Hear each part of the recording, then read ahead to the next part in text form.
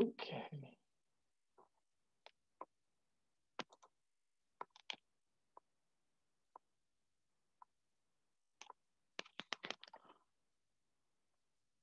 All right, actually, let me start with, with this. Um, so thanks everyone for, for coming.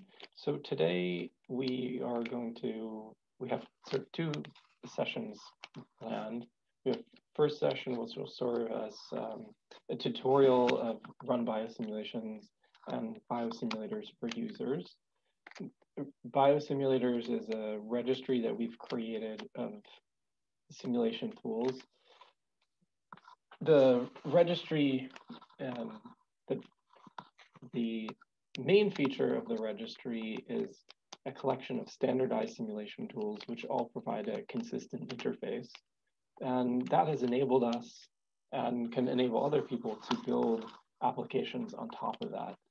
And as one um, example, uh, and partly a, a, proof of concept, we've developed on top of this a web application for executing simulations that we call Run Biosimulations. So this allows you to upload a description of a simulation and a description of a model in the form of a Combine archive, select a simulation tool that you'd like to use to execute that, and then receive outputs in a standardized format, which can be connected to visualizations in a standardized way.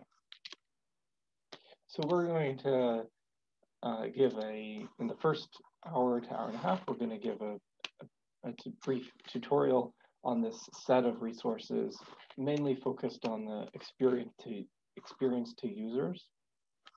So that will cover how do we create a, a Combine archive, we create a simulation experiment file inside of that, um, how do we then upload that to run biosimulations, use it to execute a simulation, visualize its results, and so on. In the second session, we will focus more on the uh, developer experience for uh, particularly for biosimulators, namely how to contribute an additional simulation tool to biosimulators, how to add additional algorithms to simulation tools that we've already containerized, and how to maintain this going forward, such as how to automate pushing new versions of simulation tools to the biosimulators registry. In that second session, we'll also cover how we're validating simulation tools so we'll show you the, the test suite that we've created to validate simulation tools, how to execute that test suite either in the cloud or how to run that locally. Um, and we'll also discuss how we're curating simulation tools.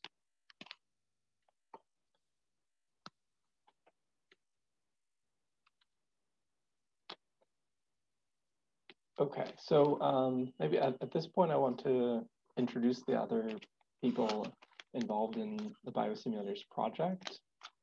Um, Bilal and, and Jan and Michael, do you want to introduce yourselves? Oh, and Akil is here as well.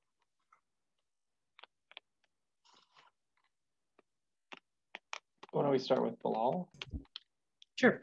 Hi, everyone. Uh, my name is Bilal. I work uh, in Jonathan's lab. Um, my primary uh, work is on building these tools, uh, biosimulators and biosimulations.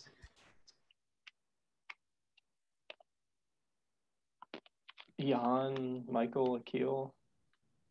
Hi, this is Akil. Uh, I work at UConn under Jan. Uh, my primary uh, development was under uh, developing a biosimulator vCell and uh, a dispatch module for biosimulators.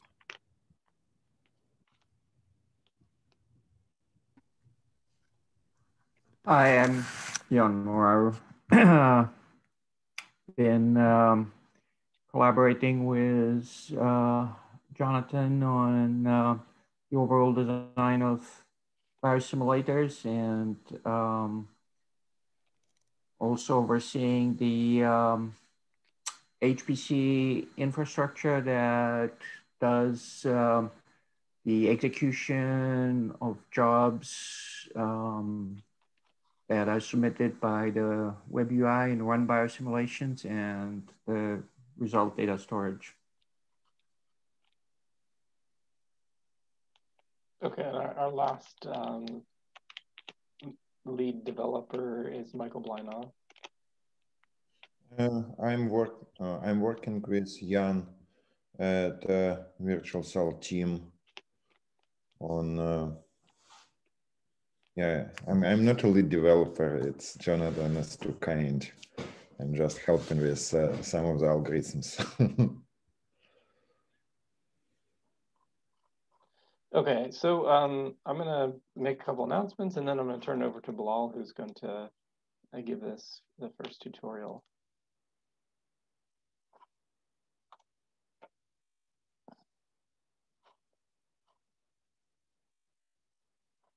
Okay, so um, first of all, the, the, the, resources that we're going to talk about today, they're available at biosimulators.org and runbiosimulations.org.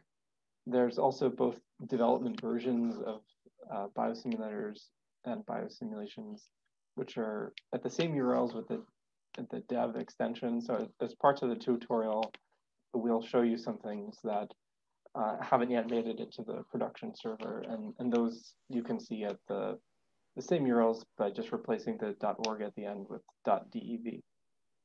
The slides are um, available from a link from the Sketch app for the meeting. We also have a preprint for uh, paper on run biosimulations, which is which is currently in bioRxiv. Okay, so um, the next thing I, I just want to say before we get started is I want to thank everyone who has contributed. Um, the main contributors are all here that you, you they've already introduced themselves. Um, Bilal Sheikh, uh, Jan Moraru, Michael Blinov, and, um, and Akil. We have been funded generously by the, mainly by the National Institutes of Health through the Center for Reproducible Biomedical Modeling.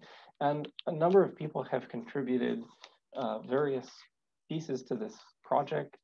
Uh, many people have contributed without even knowing that, um, that we were trying to, to do this. So I just want to thank everybody who's helped us uh, use simulation tools, contribute to ontologies, um, and thank you for giving your time, um, not even knowing that, that you're necessarily contributing to a specific project.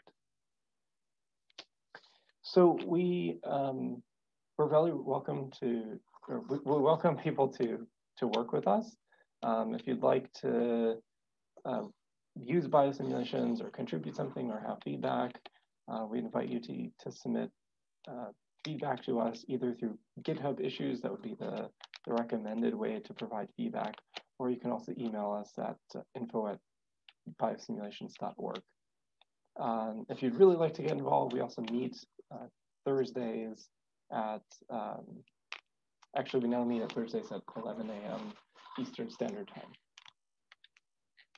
Okay, so our schedule for the week is today we have tutorials as I, two tutorials as I mentioned, we'll start by focusing on users and then um, at in roughly 75 minutes, we'll switch to focusing on the developer experience, how to contribute simulation tools.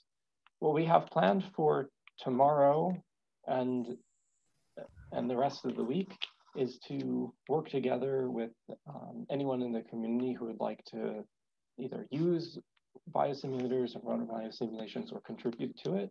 And we'll share some ideas of, of what that could look like. Um, and of course, we, we can find other times to, to work with people beyond uh, this particular week. And then on Friday, we've scheduled a forum to discuss future directions and feedback on run biosimulations and biosimulators. So to, to inspire some thinking about potential hackathon projects, um, there's a number of things that we could potentially do.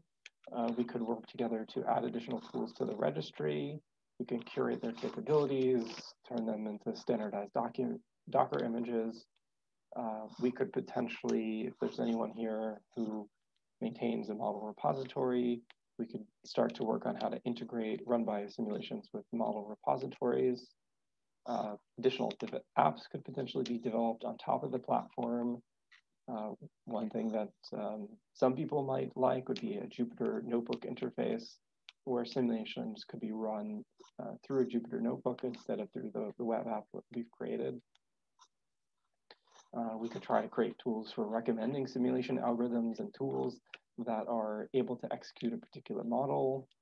Uh, we started to work on uh, data visualizations and we'll share that, but uh, additional visualizations could be added. Um, and of course, we can work on refining the core capabilities. So um, to facilitate discussion for the, the hackathon portion of the meeting, we have set up a discussion forum on GitHub, and we've also created a Slack channel within the, or a, a Slack um, tag within the, the Slack channel for the Combine meeting. Okay, uh, at this point, I'm going to turn it over to Bilal, who's going to give the first tutorial.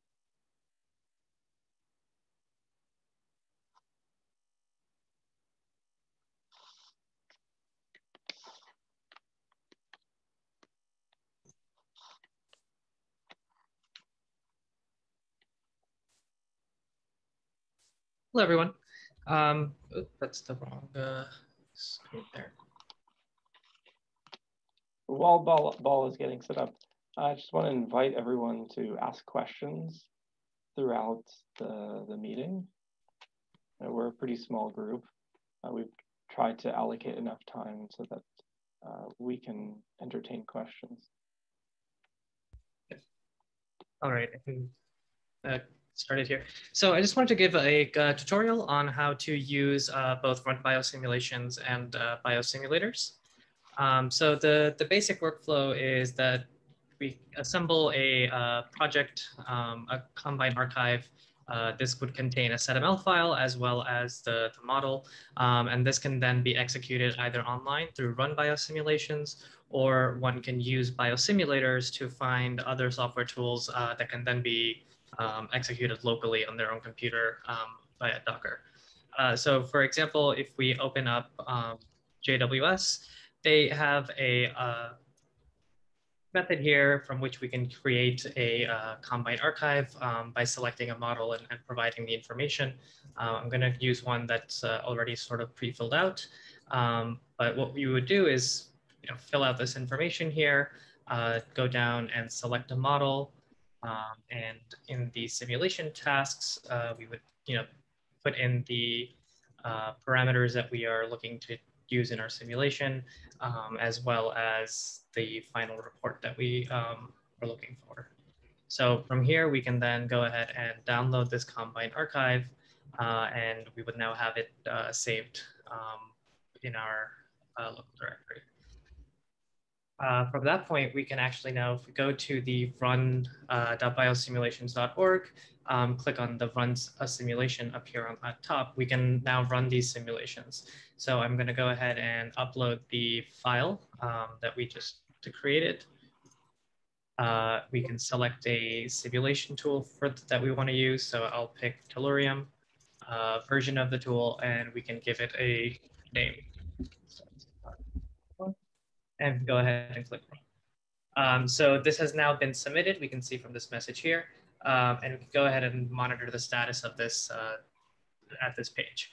Now, if we have a longer running simulation, um, we could have uh, entered our email on the last page, uh, and then instead of sitting here watching this, we could have gotten a, uh, we would get a notification when the simulation has either finished um, or failed. So now we see that the simulation has, has run, um, and we can take a look at, for example, at the log output. Uh, so here we can see that you know there was one SED-ML document which had one simulation in it. It successfully uh, completed it. Um, and we can also look, look at the raw output um, of the process that's on UConn's HPC and see what was going on. So we can see that it downloaded the Combine archive, uh, it pulled a Docker image, uh, ran the simulator in that image, etc. So the interesting portions here are when you come here to design uh, a chart, we can select the reports that were generated from this um, from this uh, simulation and select also the, the data output.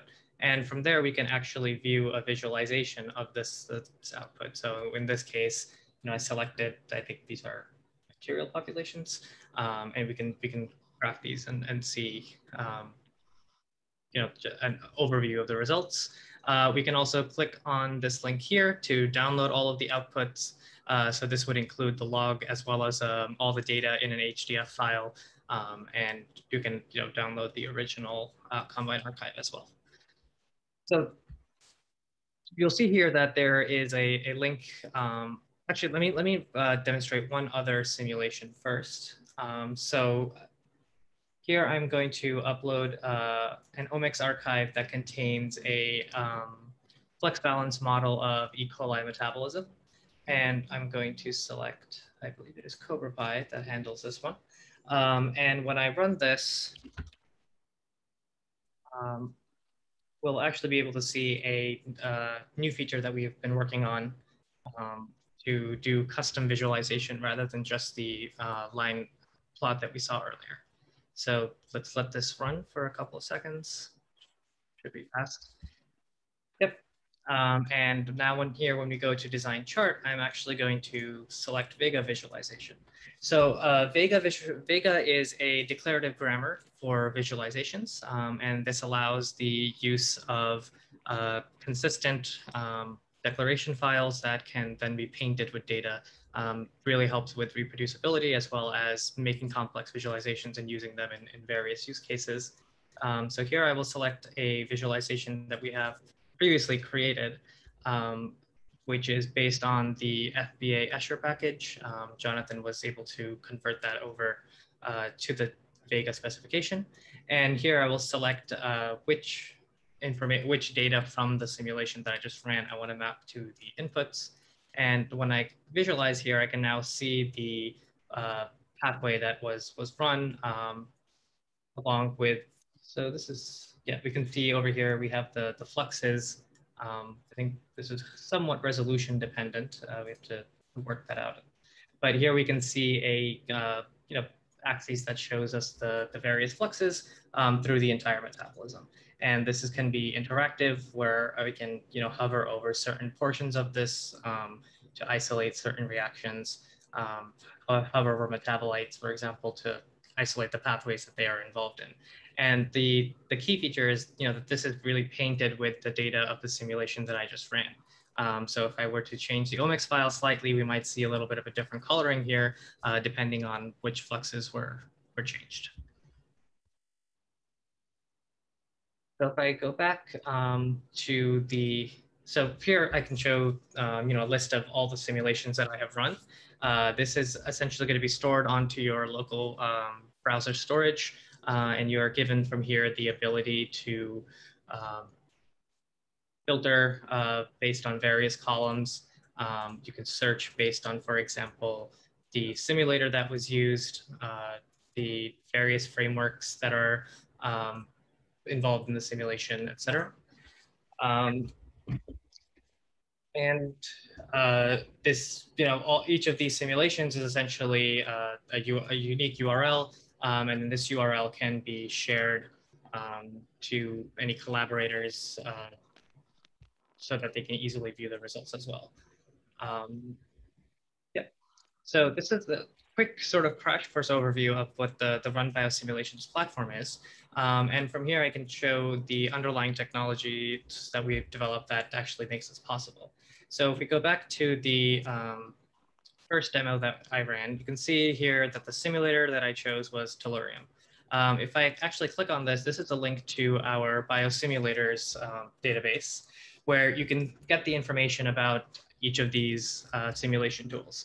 Um, so here, you know, you can see the citation for, for Tellurium, um, as well as uh, some interfaces here, uh, information, sorry, here that such as the interfaces that it runs on, uh, what programming language it's created in, et cetera. Um, one of the, the main features of this is the algorithm section. Uh, over here, we list out all of the different algorithms that are supported by the simulator. So if you remember when I generated the Combine um, archive, I chose uh, KiSAO 19, uh, which is just CVODE, uh, to be the algorithm that was used for the simulation. And we have a characterization of that as well as all the parameters that are supported by the um, by the image. Um, and all of these, all of this information is curated uh, for the various simulators through automated testing, which I will uh, show in a little bit. Um, over here, we can see the, you know, various versions that are available. Uh, all this is the same information, just uh, presented in, in JSON. Um, and most importantly here, we are able to get a URL uh, for the biosimulators uh, image. So I can actually just hit this button and I've now copied um, that command to my clipboard.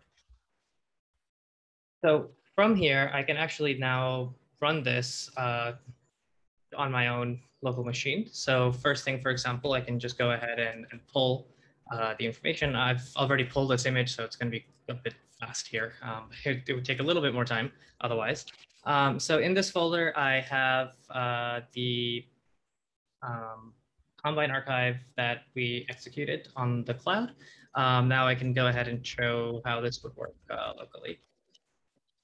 So what I am doing here is, uh, you can see my mouse, hopefully. I, see if I can make it a little.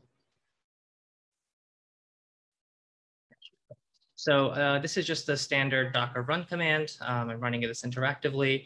Uh, and the key here is the, the mount, um, the volume mount command. So essentially this is the directory that I'm in. I am mounting that to a any arbitrary directory on the container. Um, and the two real main uh, inputs to these containers are the uh, Combine archive, which is the input, and where I want these results to be output. Um, and from this command, I can then go ahead and hit enter, and we shall soon see, yep, that the simulation runs. Um, if I now look at the directory, I have a new output folder. And in that output folder, we can see that I've you know, produced a HDF file um, with the, the, report as well as the log. And you'll see that this log um, will be very similar to the one that we saw in the cloud, except it's going to be missing the information about downloading the archive, et cetera, because it's, it's running locally.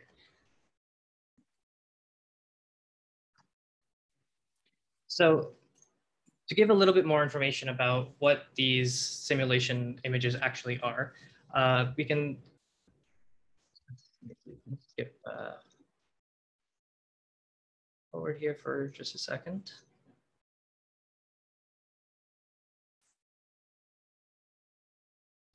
Yeah, so, so the, the key um, feature that we have been trying to work on with the, the biosimulators is getting these uh, into um, standardized formats uh, that can then be uh, run quite easily. So each of these simulation tools will have um, a different interface, for example, different uh, commands and algorithms.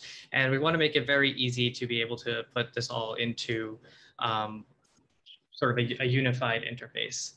So, uh, so essentially for all the different um, simulation tools, we've uploaded them to the Docker Hub container registry uh, to enable users to be able to download, for example, a specific simulation tool at a specific version.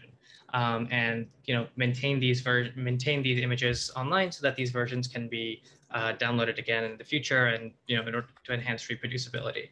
Um, another thing that we wanted to um, work on is the ability to, when you select a simulator, provide the same sort of input uh, options um, to every different tool.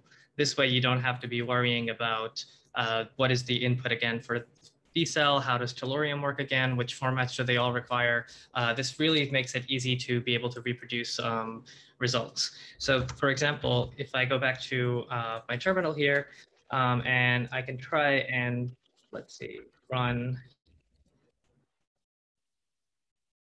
here is cell. Okay, so here, for example, is Copasi, um, and I'm going to run it on this Omex archive that I've uh, gotten from biomodels. If I go ahead and run this, you'll see that this one actually doesn't work. Um, based on these results, I can see that, oh, okay, Copasi doesn't support this, this algorithm. How can I, you know, let me see, maybe Tellurium will work uh, that might be a way that I can get the results that I'm seeking. And I don't really have to change anything here other than just the name. Um, I don't have to worry about what the interface is, how it's uh, how does Tellurium work differently compared to Copasi. Um, simply by changing the name, I am then able to run this simulation. Uh, oh, I've already run it, so the output is already exists here. Sorry. Uh, let me just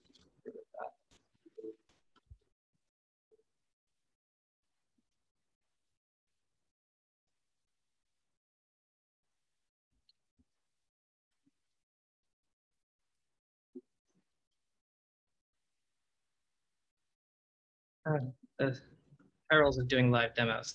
Okay, um, so now when I run this with the Tellurium, uh, we should be able to see that it will go ahead and execute this correctly. And the output has now been saved in that directory that I just deleted. Um, so this really, you know, gives you the ability to experiment and try different simulation tools without any overhead. All that I really had to do was change the name of the simulator um, that I was using. So that we think this is, you know, a really powerful feature to help with uh, reducing the barrier to, to really getting started with modeling and comparing these, these different tools. So the way that we are um, planning to uh, build upon this is just to really be able to create an ecosystem of tools. So what I was you know, just demonstrating is um, we start with common formats for simulators and inputs. Um, so the Combine uh, archive, for example, is you know well used in the community. Um, the HDF5 uh, file format is used across the sciences for data output, so we've chosen to go with that one. Um, the logs have all been uh, output in a structured manner so that we can produce those um, sort of visualizations of the logs that we were seeing earlier. Um, and we're, you know, also standardizing the simulators themselves as well as capturing their um, capabilities and, and test uh, suite information.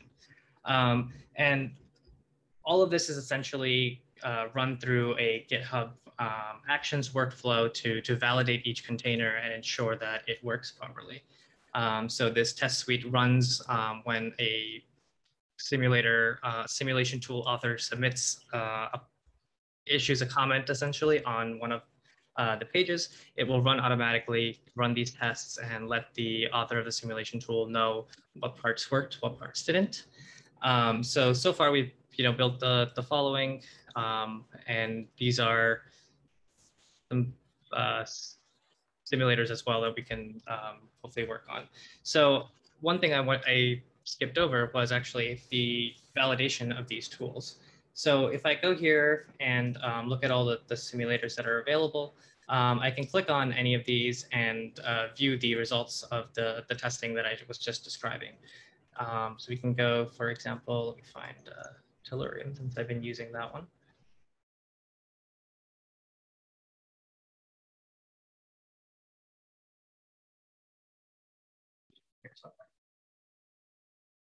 Okay, so I, we'll, we'll use vCell here instead.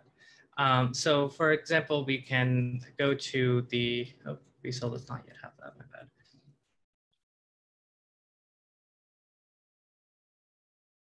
Um, if we go here to, sorry, was that? No, this is fine. yeah. This will demonstrate the same thing. Yeah, I know we have a bit of a variation in, in the capabilities of these. So um, this, for example, is the Gillespie 2, um, Pi Gillespie 2 simulator. Uh, so what we do is uh, have these tests for all the various aspects of the standard that we are working with. So this is essentially, you know, test for the CLI to make sure that, you know, the simulator can be run uh, in the way that we want, where all you have to do is provide the Docker image and input and output, um, and it can go ahead and, and run the simulator. Um, over here, we are also, you know, testing the uh, various, the support of various SBML features. Um, so this is generally on, on um, level one version three uh, to try and get most of the tools um, supporting the majority of, of that SBML standard. Um, and we can see the, uh, the test that we run, uh, whether or not the test passed. Uh, here is the output.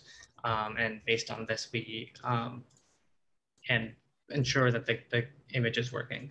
Uh, so over here, you'll see that these are actually linked to the GitHub issues and GitHub actions. So if I click on this here, we can see that this was uh, the workflow that was triggered when we wanted to add uh, this container to the registry. Um, so this, we would, you know, post a, an issue. Uh, this would then go ahead and check and make sure the specifications are valid. Uh, it would go ahead and run the various tests, uh, specify why, you know, certain tests were passed, why they were skipped. Um, and we can actually take a look at the GitHub um, action that actually ran. So we can see that this was all happening automatically through the GitHub Actions framework, where it was able to create a job, uh, install Python on a container, for example. Um, over here, we're installing Singularity. Uh, here actually is where our um, tests are running. Install.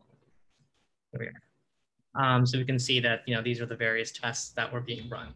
Um, so this was all happening on the cloud if someone wanted to submit a uh, simulator to the registry, um, but one could also download this Python package and uh, use it locally to test um, against local copies of a simulator that they're hoping to, to submit, for example.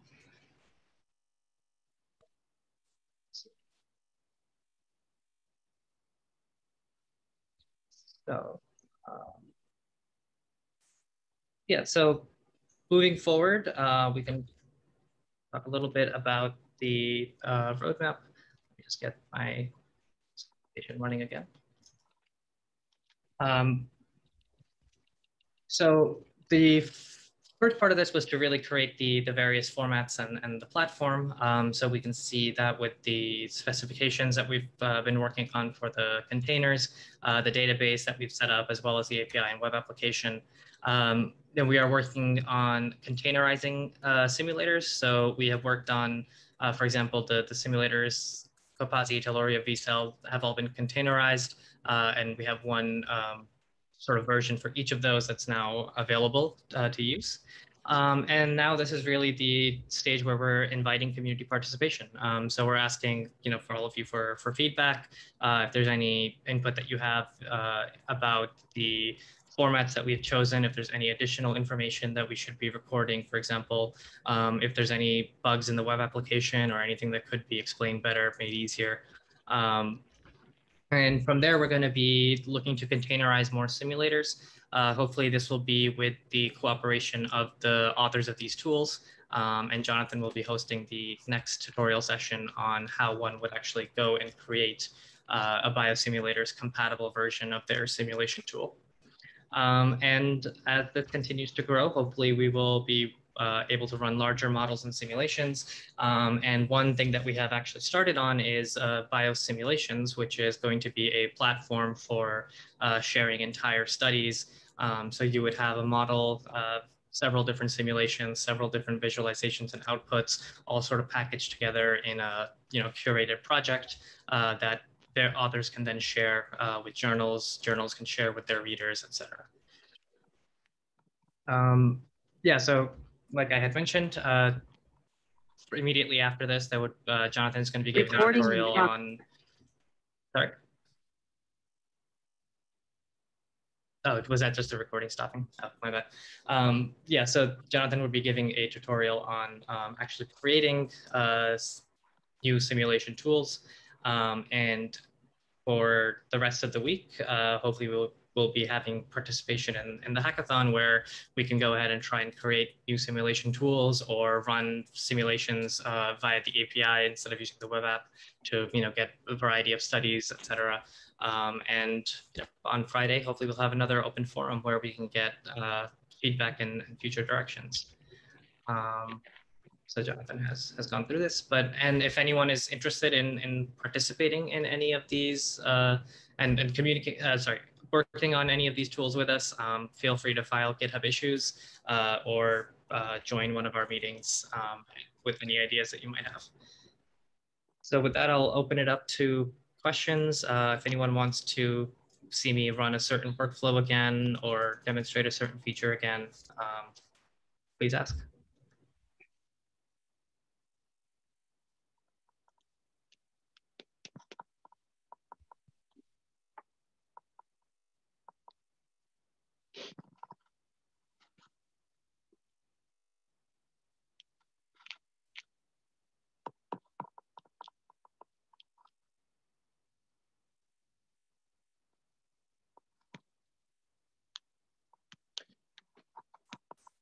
Could you go to um, to back to biosimulators.org and show the the list of available simulation algorithms? I think one thing to um, uh, to maybe point out is so Bilal started this example by showing how you could start from JWS Online, create a simulation experiment, and that simulation experiment um, with some limitations can be run in, in JWS Online. Um, so I think the one of the key things here is that there are many more simulation algorithms which are all available from one place. And the and then we are using that to provide a web application for, for accessing all of these simulation algorithms. And all of this is then also available with the all of the features of SedML, including repeated tasks. Um, so that, that contrasts to, to JWS Online, where uh, I believe there's only one simulation algorithm which is provided.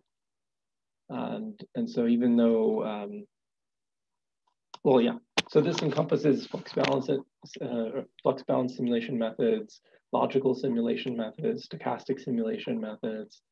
Um, with Jan, we're working on bringing spatial simulation methods into this as well with VCell.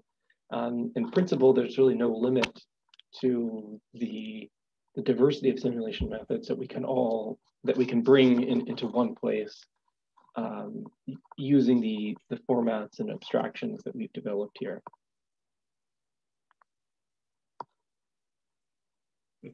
Yeah, so looking at this view, for example, just, you know, the quite a few different algorithms um, that are represented across these uh, various simulation um, tools. Uh, so from that, you can really, if you're looking to run some particular algorithm, uh, click on them and, and, filter and see, okay, this is the image. Um, so this is actually an example of an image where we don't yet have a, sorry, of a simulator where we don't yet have a um, image. So this would be a great project if anyone wants to, to get involved. Um, but based on uh, what you filter here, you can really take a look at, okay, these are the um, simulators that support the algorithm I'm interested in. Here are the ones that have an image and I can go ahead and click on this and you know run it through uh, run biosimulations. Can you scroll down and show the model formats as well? Yes. So another option is uh, here to filter through various model formats. Um, so you know, the majority of our simulators uh, work with SBML, uh, but there are also, um, we have created a container for one so far uh, that works with uh, BNGL, so that's BioNetGen.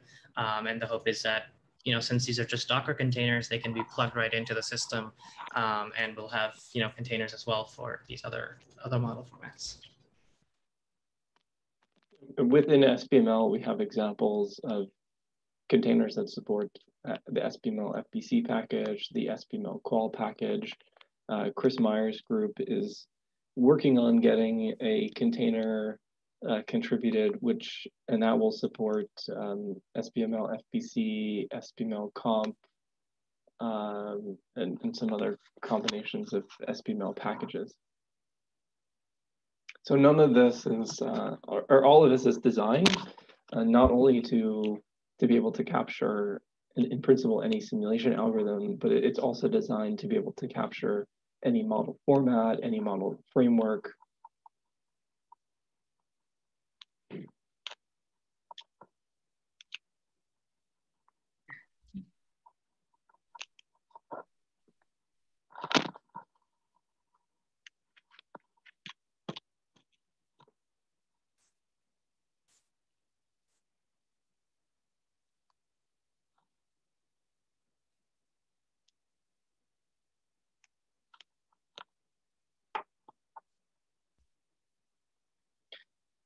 Are there any questions for Bilal?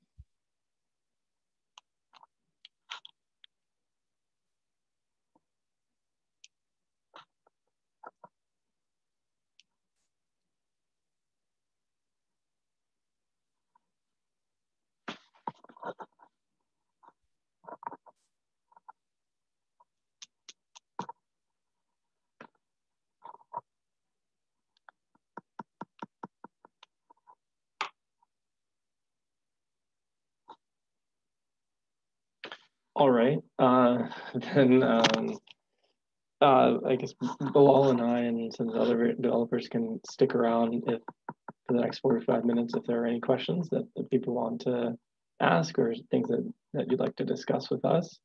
Otherwise, we'll um, hopefully see you back in 45 minutes to dig deeper into the specific formats that we're working with and exactly how we can work together to, to containerize and contribute additional simulation tools to biosimulators, and then make that available through the web application that we've created. So out of curiosity, is anyone here working on simulation tools? Um, trying to look at, see if I recognize any here.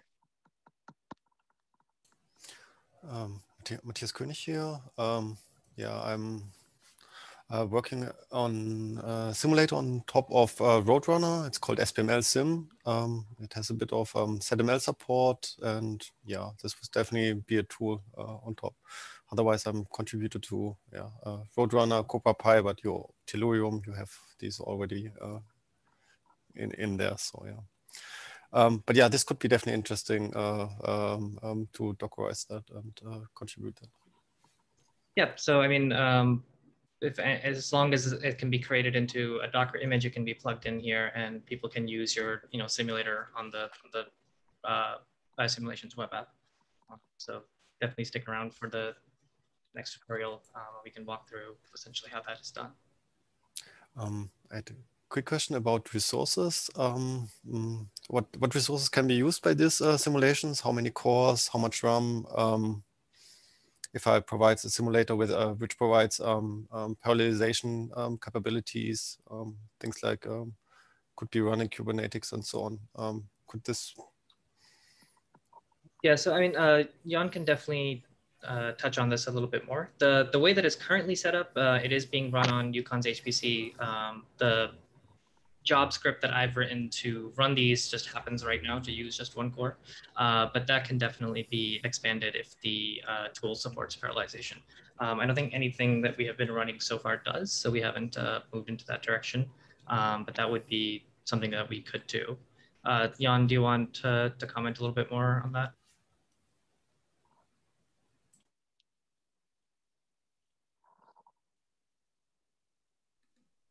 Sorry, I was muted. um, I did not catch the original question about running parallel. Uh, essentially, like if there are simulators that can take advantage of parallel architectures or can be, um, you said run on, on Kubernetes. Is that through like a, a workflow yeah, yeah, that will create? let's say like in the or in the first version that just like use multiple cores. As far as I know, GitHub Actions and so on, most of the time they only have a, a single core. But um, uh, normally, if you have like some Docker-based workflows, you can assign resources to your um, containers, and um, okay. if you could assign like multiple cores and things like that, so that uh, um, software. Oh yeah, that's that. yeah. That, I see. so so Kubernetes was the example of like the orchestrator. For a second, I I thought there was a simulator no. built on that sort of uh, no the, yeah the simulator is is simulator would support kubernetes but it's i think it's not the workflow you you're looking for right. here it's more like okay i have something which can run in parallel and um, just a single docker container should use more than one core this would be the mm-hmm. simple thing and would be nice if this would yeah so at least from the the development point of view um, i could definitely you know make the changes to have uh, the container um, request multiple cores, uh, and then Jan can talk more about sort of what the limitations of that would be, if any, and how that would work on the HPC end. So one thing um, maybe would be helpful to clarify. So GitHub Actions are only being used to validate simulation tools. We're not using GitHub Actions to execute simulations. So when you upload a simulation experiment to run by the simulations, that will get run on a a cluster at the University of Connecticut, which Jan's team manages. And as Bilal mentioned, we could easily assign more resources to individual jobs. We don't currently have an option, but it wouldn't be hard for us to, to change that. The harder part, of course, is individual simulation tools have to take advantage of that. Uh, another thing that we could in general do in, in most cases is you know, as, as you know, you know, simulation experiments are largely composed, or in many cases, are composed of independent tasks. And uh, essentially, this could be, this, those tasks could be executed in parallel. It's not currently being done, but um, for most of the simulation tools, it, wouldn't be that hard for us to turn it into a set of tasks which are executed in parallel rather than series. Oh, yeah, I, I, think also like uh, most of the simulations are pretty fast, like with current SBML models. I think more about things like uh, parameter uh, uh optimization and so on, which probably you don't really want to run on one core or so. uh, or yeah, uh, things like that. And I could imagine like parameter fitting could be also a nice thing um, to to execute here in this environment. Yeah, so, so Daniel is is here, um, and we reached out to PETAB to explore uh, how to maybe take advantage of some of the things that we've created to help keep track of parameter estimation tools, their capabilities, provide them in a more standardized interface, and then if we were able to to package them up, um, I know you know that some of them use MATLAB, and so that runs into some licensing issues issues that we'd have to navigate if we wanted to make those accessible through a web interface. Um, but in, in, any case, in, in, principle, this is essentially just a, an, ex, an environment for executing Combine archives, and the details of how those are processed are abstracted into the Docker images.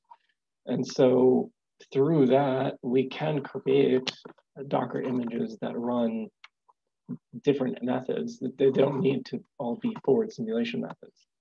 The parameter estimation and other analyses can be included. We have a small number of examples of this already, uh, of algorithms which are not forward simulation methods, but th this is one area that we would like to expand into. So that, that comes up a lot with uh, logical simulation as well. There's a lot of methods for analyzing the structure of models. This can all be, I think, encompassed into this paradigm.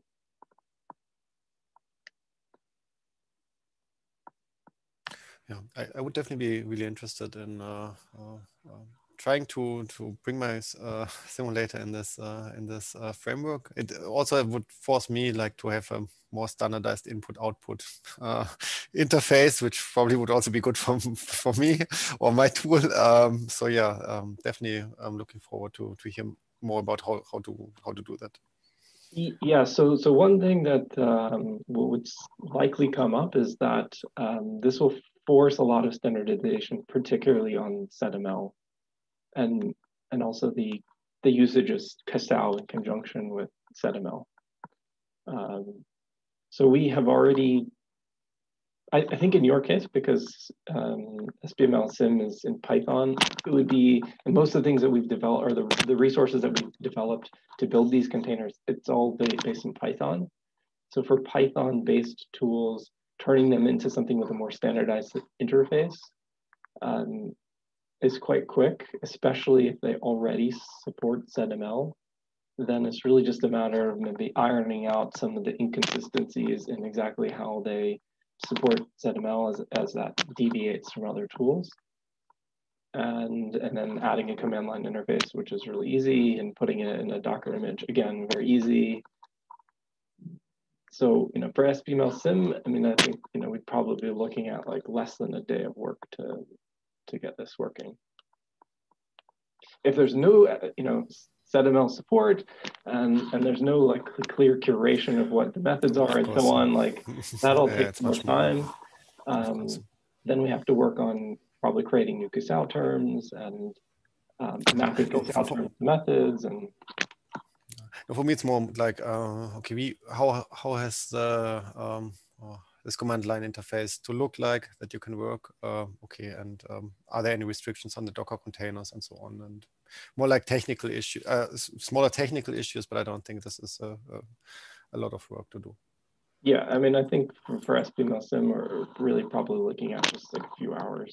I mean, if we did it together. Um, but I mean, as, as we can, you know, show in the in the next hour, um, most of the, so even for tools like uh, Glad, uh, Bilal an example of GillesPy2. So if we take that as an example, GillesPy2, it's a program which can execute SBML, uh, but has no support for, for SedML. Uh, so we can add support for SedML and Combine and KiSAO and HDF, all of this. um, essentially what, what, each of the um, each of the containers essentially right now has a Python package inside it, which implements the command line interface. And that command line interface is created by mixing two things. One is a, a simulation package like GillesPy2, and then the second is a set of utilities that we've written for executing Combine archives and SedML and Combine archives and collecting the logs and collecting the results. And the two can be combined together with just a few hundred lines of code. And then tools which already have, you know, SedML and, and map KiSAO to methods and so on, then you need even less code. But even for the ones where there's no SedML, uh, it doesn't require a ton of work. We've tried very carefully to make sure that the the barrier entry to, is, is low to add new simulation tools. One thing that you will probably you know astutely recognize is because of the the way that we're mapping um, Docker images to the underlying simulation tool is through entry points. Um, this it's it, we've done it this way because I think this is the simplest way for developers to support. But it does the way that this is structured, the containers are not really intended to be used like a service where you keep querying the container to run task. Um, instead, and this is sort of inherited from the design of SedML, the idea is that the whole workflow is sort of designed and described in SedML, and then the simulation program knows how to interpret that workflow. Um, but anyway, it, it, need not all be structured this way, but we, we, could design the containers in a slightly different way, which would be more conducive to running as a service. But this would, I think, be more, the advantage is that it would be higher performance for certain applications like you're describing. The downside is it would likely require more work to support this. And it would also, I think, be less consistent with the spirit of SedML as the language for describing the workflow.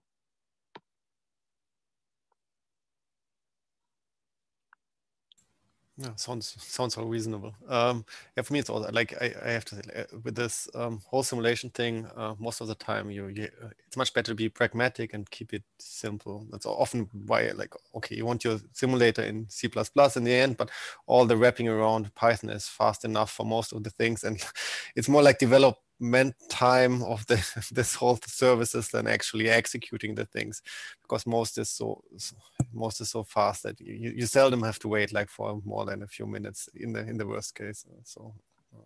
yeah so, so this is all really designed from that perspective as we want the development time to be low and there is some of course sacrifice in performance that that comes from that um, our thinking was we can get a bunch of the community to support this, we can always think about a, a higher performance version in the future. And we can perhaps at that point you know, come up with some clever way to migrate tools forward, which doesn't require a lot of work on the part of most developers. Yeah, and I think that's one of the big advantages of, of Docker um, is, you know, if we do come up with a better way in the future, it's just another Docker image that can plug right in. Uh, that doesn't mean that the older ones will stop working uh, as long as they have that same interface. So it, it leaves a lot of room for upgrades um, and, and incremental changes.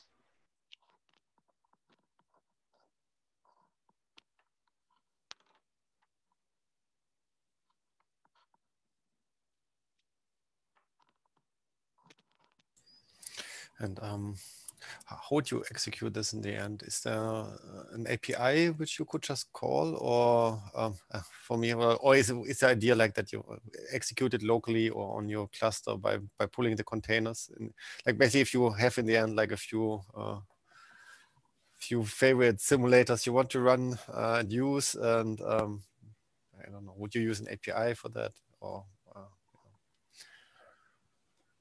Okay. So I think as you know, as Bilal is going to show, there's a few options. We show yeah. the web application. Bilal showed how you can pull the Docker images. And there is another option, which is what Bilal is going to show here. Right. So the the web application that I uh, was showing previously. So if you go to uh, if you go, you know, this way, uh, you fill out this form, all it's really doing is calling this API in the, in the backend. Uh, so if you are a developer, you can just go ahead and call this on your own.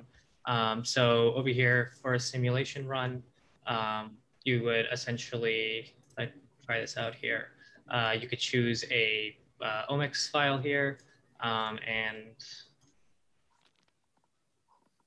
that's so we can try it out. Uh,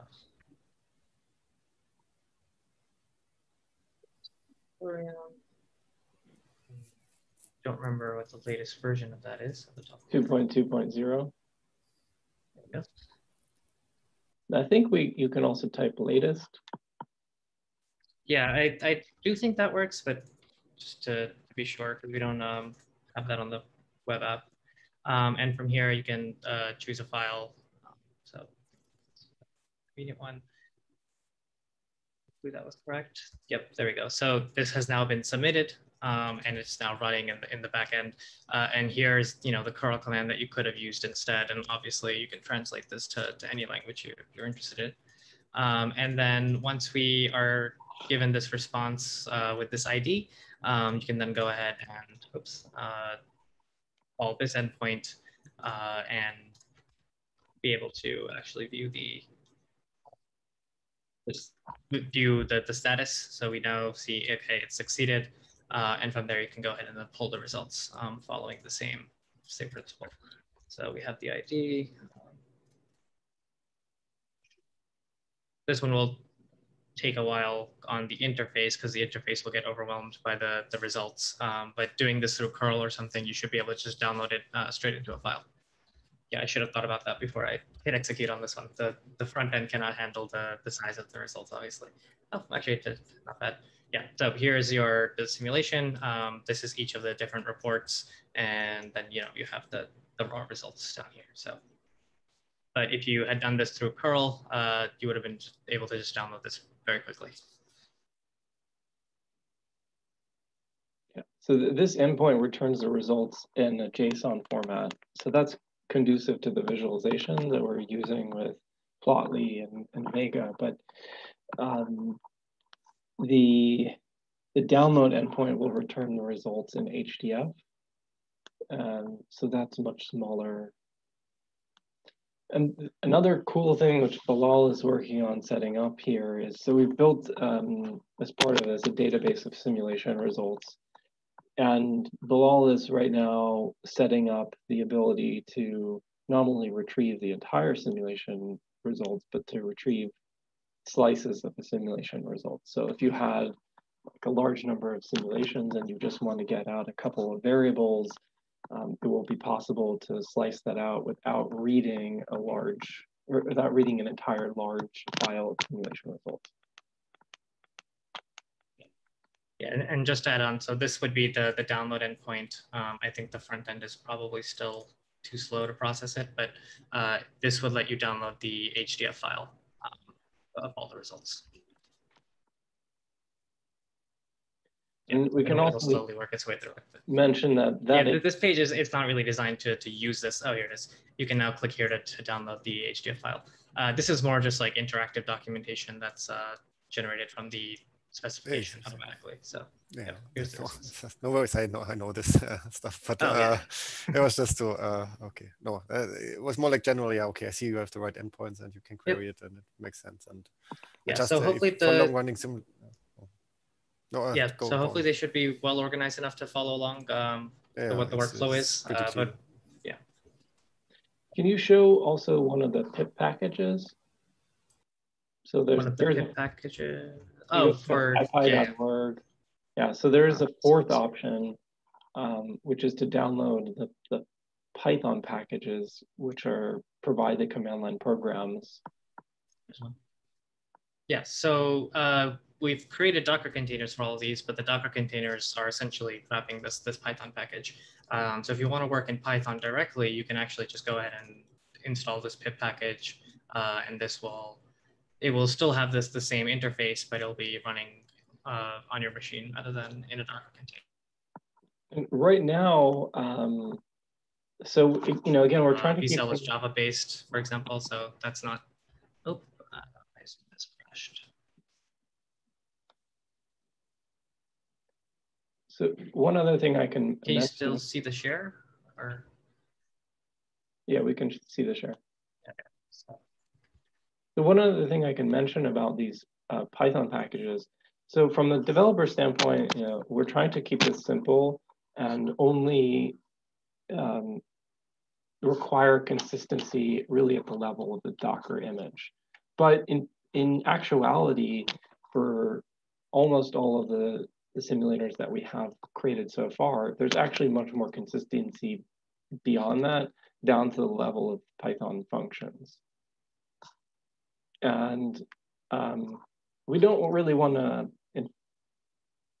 we want to be careful not to enforce that because, um, well, for one, like we don't need to, we don't want to say that everything has to be developed in Python.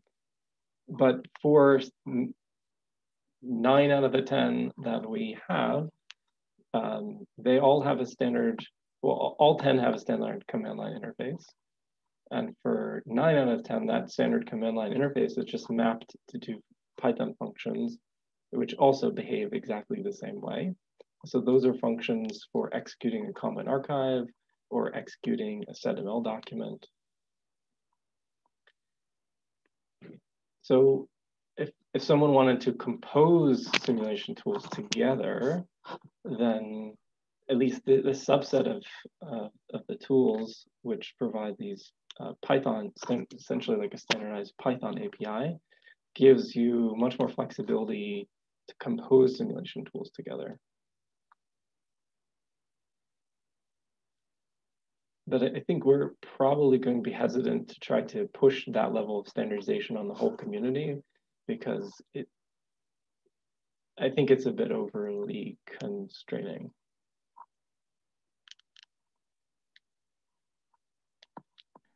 Um, may I ask a question?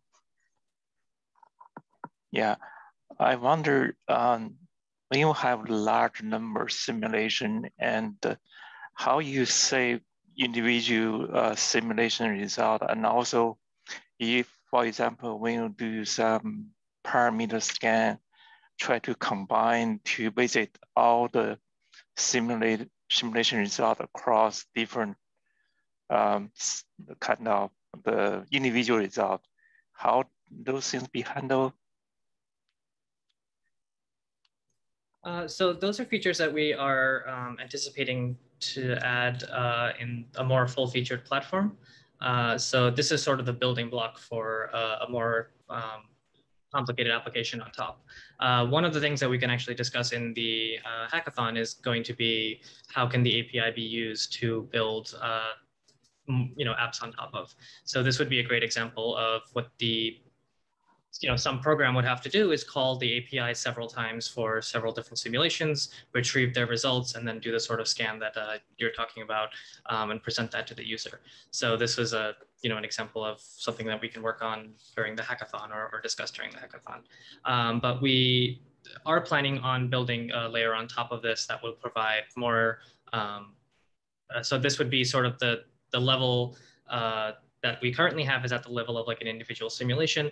Um, and then we're planning on building a platform that allows for the share and uh, visualization, for example, of like an entire study. So that would be multiple simulations tied together um, and the output, uh, you know, uh, drawing from multiple runs in, in, some way. So that's our next step. So um, even with the current platform, actually, so a single SED-ML file can describe really arbitrarily many uh, individual simulation runs. And then that can be within SED-ML, you can control how the results get concatenated into a single report, which would be a, a single data set within HDF5 file. So um, you can use this to encode arbitrarily many simulations into a single uh, table. Then on top of that, there's another abstraction in SED-ML, which, which we already support, um, which are repeated tasks. So if you wanted to describe a parameter scan where you execute a, a simulation many times with different values of one or more parameters, that can be described in SED-ML as a repeated task. It would be a repeated task over an iteration. It's sort of like a for loop. You can roughly think of it like a for loop. Um, and then those results will get concatenated into a multi-dimensional matrix and saved to an HDF5 file. So what, what you'll end up with is there'll be an axis of the HDF file, which corresponds to each of the iterations within the repeated task. So if you wanted to ex like explore along a certain dimension of um, a parameter scan, that will be organized as the dimension in the HDF. So all of this is already supported. On, and then as Bilal mentioned on top of that, we are planning to add yet more abstraction. I think part of the path forward to adding more abstraction is to expand the capabilities of SED-ML. So SED-ML, as I mentioned, has repeated tasks, but there are some limits to what you can do with them. Um, but through conversation with the SED-ML community over time, uh, I think the capabilities of SED-ML could be expanded to allow a greater set of um, uh, uh, encoding a, a, greater range of repeated tasks. Right now, you, you could do it, but you would have to sort of flatten out the structure of the set of simulation experiments that you want to run and code all of that into SED-ML. All this will work fine. You'll just end up with a result document, which is like flattened out. So if you want results which kind of keep the, the organization of the parameter scan that you want with like a nested set of for loops corresponding to iteration over different dimensions, um, the repeated task will do that with the, the caveat that there are some limitations to what SED-ML allows. Yeah, I, guess we have the similar kind of um, challenge. So we try to uh, do the parallel computing and to kind of take advantage uh, more resources for the computation. Uh, in the same time, when we have simulation result back, because we distribute the simulation to the different computer, different cores, um, when you do the data analysis, sometimes you want to interactively to um, to query the result data is not only the raw data, just one-time analysis. Um, our challenge we, we face similarly is when we change certain filter condition to get different way to visualize or query the data, uh, the performance, the communication, especially the network communication is a challenge.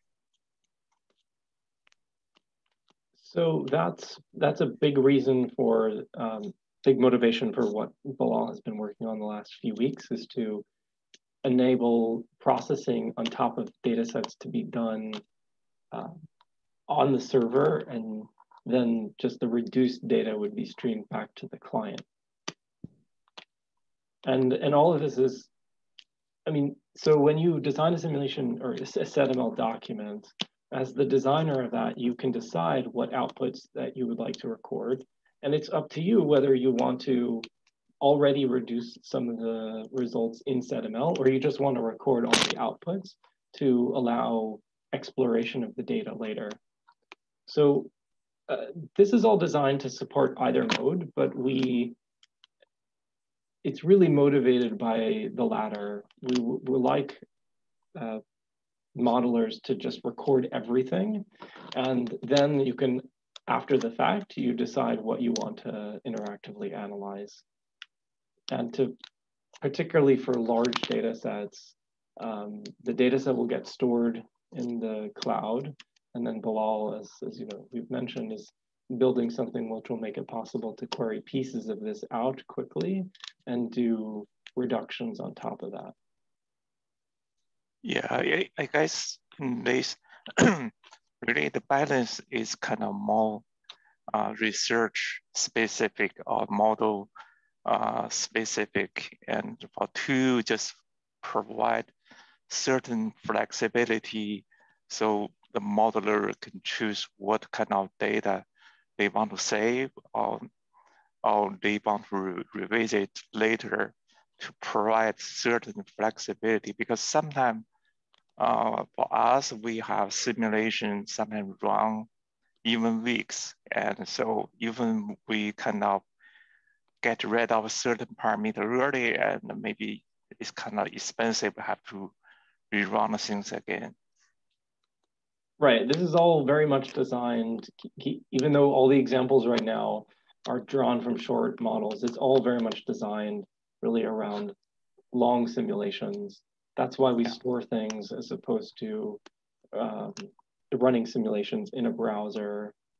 Um, this is why we've embraced Docker because we, we want you to be able to bring arbitrarily complex simulation algorithms that are implemented in you know, whatever programming language you want. Um, it's, this is very much designed differently than than other things like JWS Online, where the simulations can only be run with like one or two algorithms, and they essentially have to be short. This doesn't have these limitations.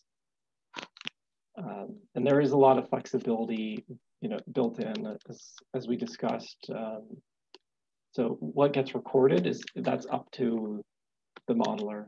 They decide through the SED-ML document what they want to record. We would encourage you to just record everything because um, if you only record a subset, then you're, you're not going to be able to analyze other parts of the simulation. But that's up to the, the user. Yeah. And so we want to we want basically want you to just store everything and then we want to essentially make it our problem to figure out how to quickly get you the pieces that you want as you're trying to explore the results and you know this is definitely i think a different style than maybe what many people are used to where you you use a desktop tool it doesn't really store anything so if you want to change your plot like you have to rerun the whole uh, simulation again this is, is not really designed for that style.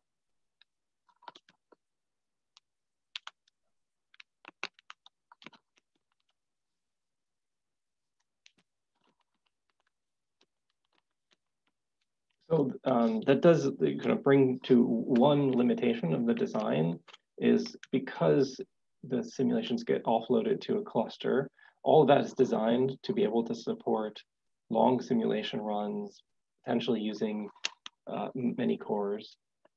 Um, but it does introduce a little bit more lag.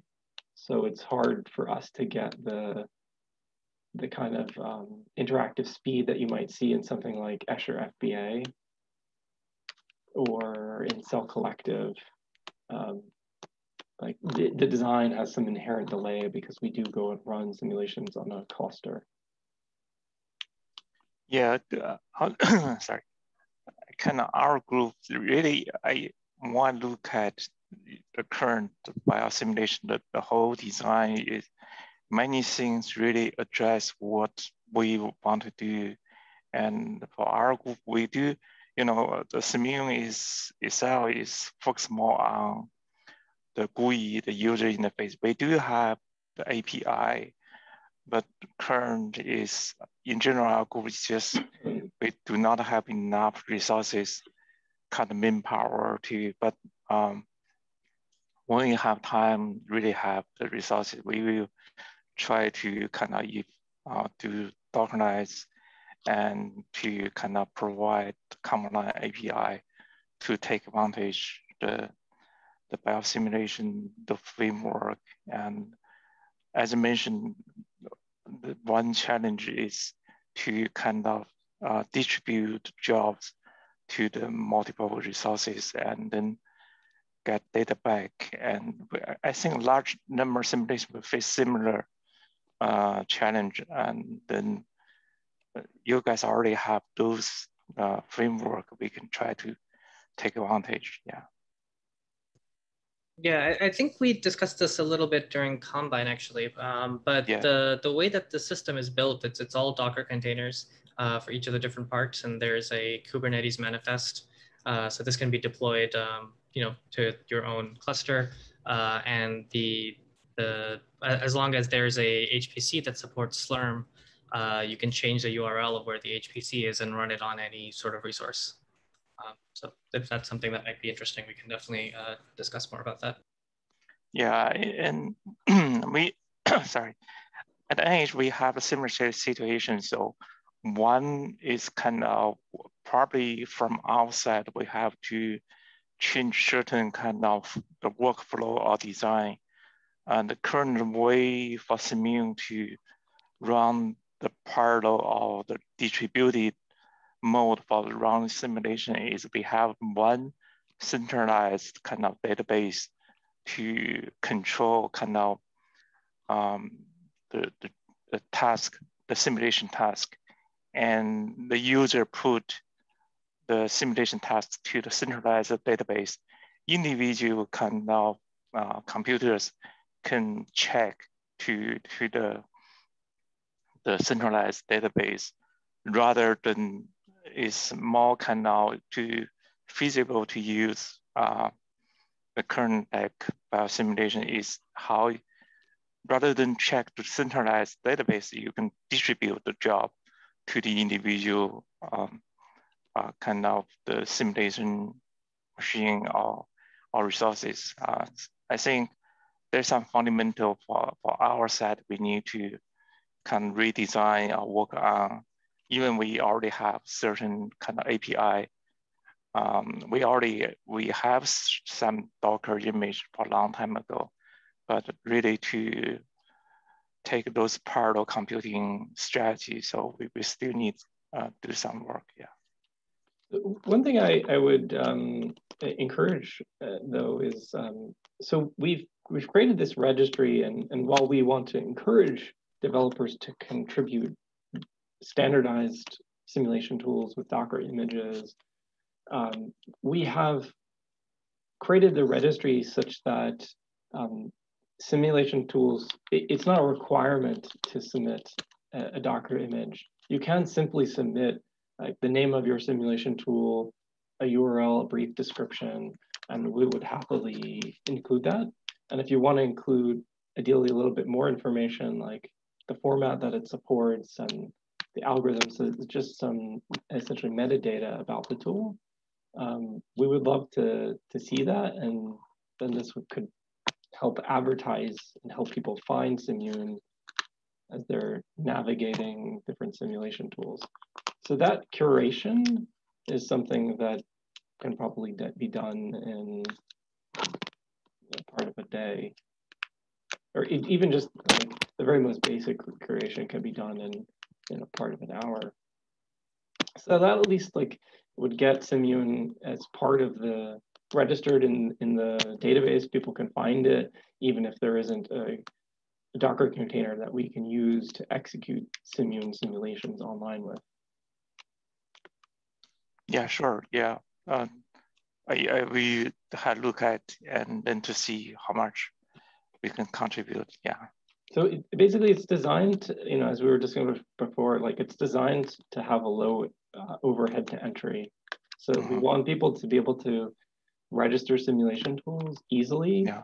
Okay. And then, you know, containerizing something, we, we understand this takes more work. So we don't want the containerization to prevent someone from registering a, a tool. And, and then what, what we enable is users can come and they can filter and you can see all of the tools or you can see just the ones that have validated Docker images. Yeah, for, for long run, sorry, for long run, I already see the BioNetGen is already kind of running up mm -hmm. in mm-hmm. our system. So we we do have we we have some simple case we can communicate uh, with BioNetGen through the, the multi package mm-hmm. and um, yeah we, we definitely we we we also try to especially in the same time we recently our group also we have some student work on some try to run certain models from BioNetGen and in the same time compare with Simmune simulation. Um, yeah, there, there's certain part is kind of, is difference is not different from the standard perspective is uh, some of them is really dependent on the tool in general because both BioNetGen and and Simmune are rule-based modeling. But mm-hmm. when when you go to individual features, we still find something is different. And that's may be a little bit challenge if you want to share a certain model you can run on both play platforms and have to compare result.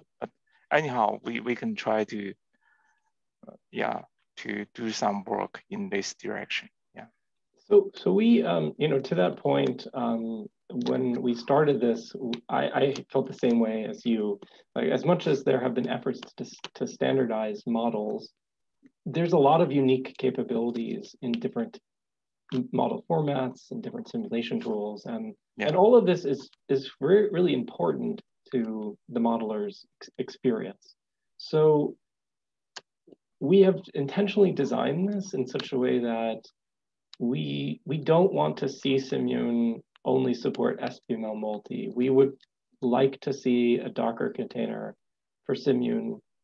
I guess ideally would support Simmune's own format as well as the standard. And the standard, of course, it would allow some exchangeability with, with BioNetGen, but it's subject to a little bit of limitation. So like in the case of the BioNetGen image, actually it does not currently support SBML multi, although probably wouldn't take a lot of work to extend it. Uh, right now, that image actually directly supports BNGL. And so it, it supports all of the features of BioNetGen simulation. Yeah, for that part, I know previously from the James Faeder group, uh, there one student there, they work on the um, BioNetGen, the export function to the uh, multi. Actually, that worked pretty well. We try something. That's also the part of the reason we the, the multi package can be officially released because the we do set up certain uh, paths, we can uh, exchange certain mm-hmm. the model. And in the same time, as I mentioned, uh, different tool, they may have a different feature.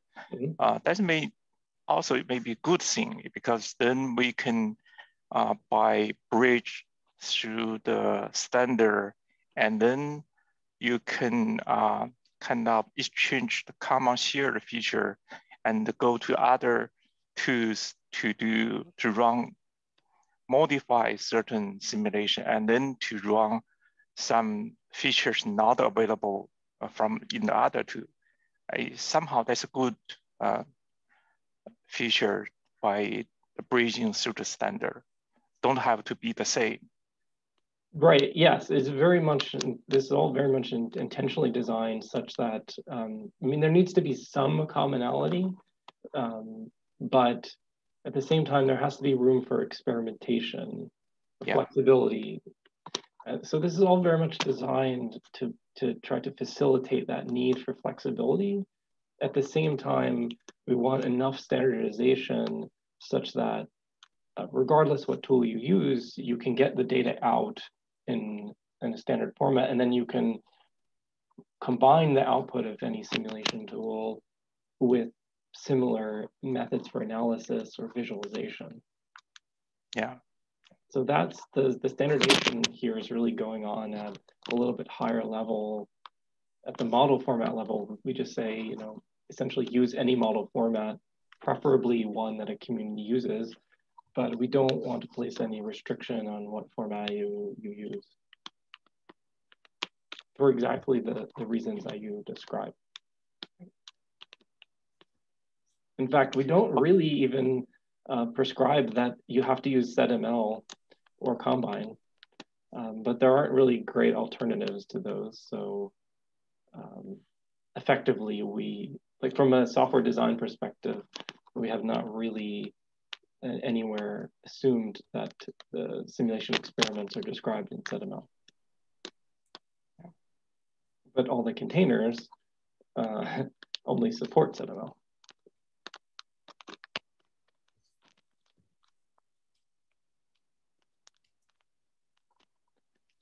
I, am I'm, I'm curious. So, for the current progress, the biosimulation, what's most kind of difficult or challenging you guys have, have faced from perspective, for example, the uh, the performance of some the integration uh, was in the most challenging things? I would say that's probably Jonathan your work with getting SED-ML consistent yeah. across all the containers. yeah, SED-ML is definitely one of the thornier issues for sure. Um, I, it's not an, an, I wouldn't say it's an intellectually complicated issue. It's it's fairly intellectually simple, but from a practical standpoint, the diversity of, of simulation tools, like despite the fact that SBML exists and SED-ML exists, like in practice, they're used in substantially inconsistent ways. And so ironing out all that inconsistency does take a, a bit of work.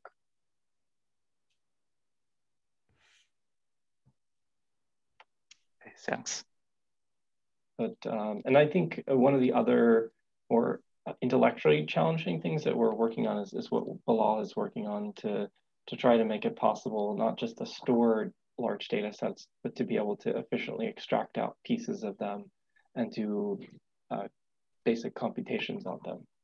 I mean, for this, we're, I think, we're largely just trying to take advantage of tools that already exist in the HDF5 sphere. Um, but we have yet to fully probe exactly the limits of that. So yeah, so the, the HDF5 group does have a uh, cloud framework that's designed to essentially uh, break HDF5 files up into you know chunks that can be stored as objects on S3 or Google Cloud Bucket, for example. Um, so I've been working on to integrate that into the rest of our, our framework. So that's the, the challenges there for now are mostly just uh, programming and technical, how to fit it in. Um, but once we fit that in, then we can you know really begin to see how this fits into your use case, for example, where you have uh, simulations running for weeks producing data. Um, is this going to be a viable way to you know really filter and query that data?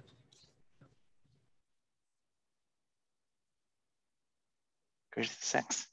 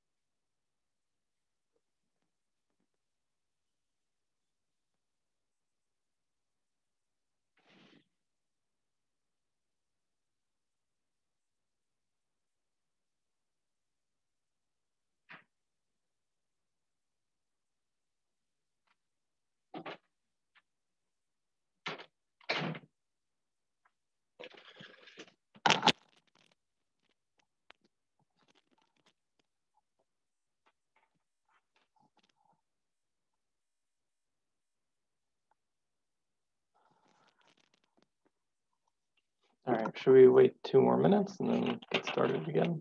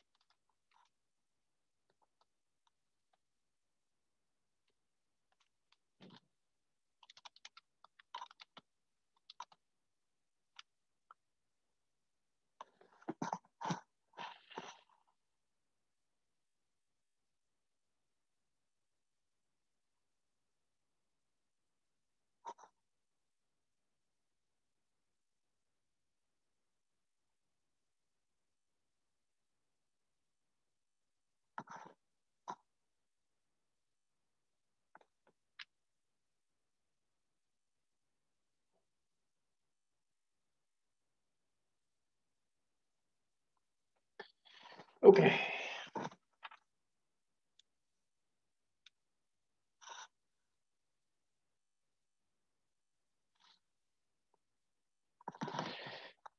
Okay, so we're now, now on to our, our second session. So our first session was on um, brief tutorial for users on how to run simulations using, how to create uh, simulations using a variety of different tools. We showed one example using JWS Online, and then how to execute the simulations using Run biosimulations.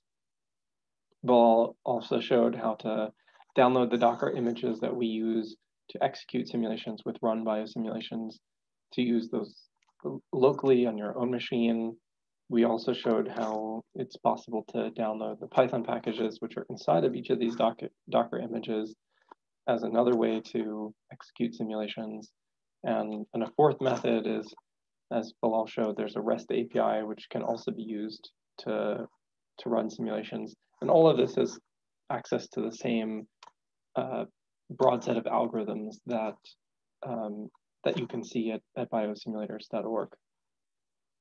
So then um, Bilal also showed biosimulators.org, uh, showing how you can browse the available simulation tools see the algorithms, the model formats that they support, see the validation that each of these tools has passed. So our next session, we're going to discuss how to create a simulation tool. And then um, Tuesday to Thursday, we have reserved time to work together with the community. And finally, we have a, a forum scheduled for Friday. Is there any questions?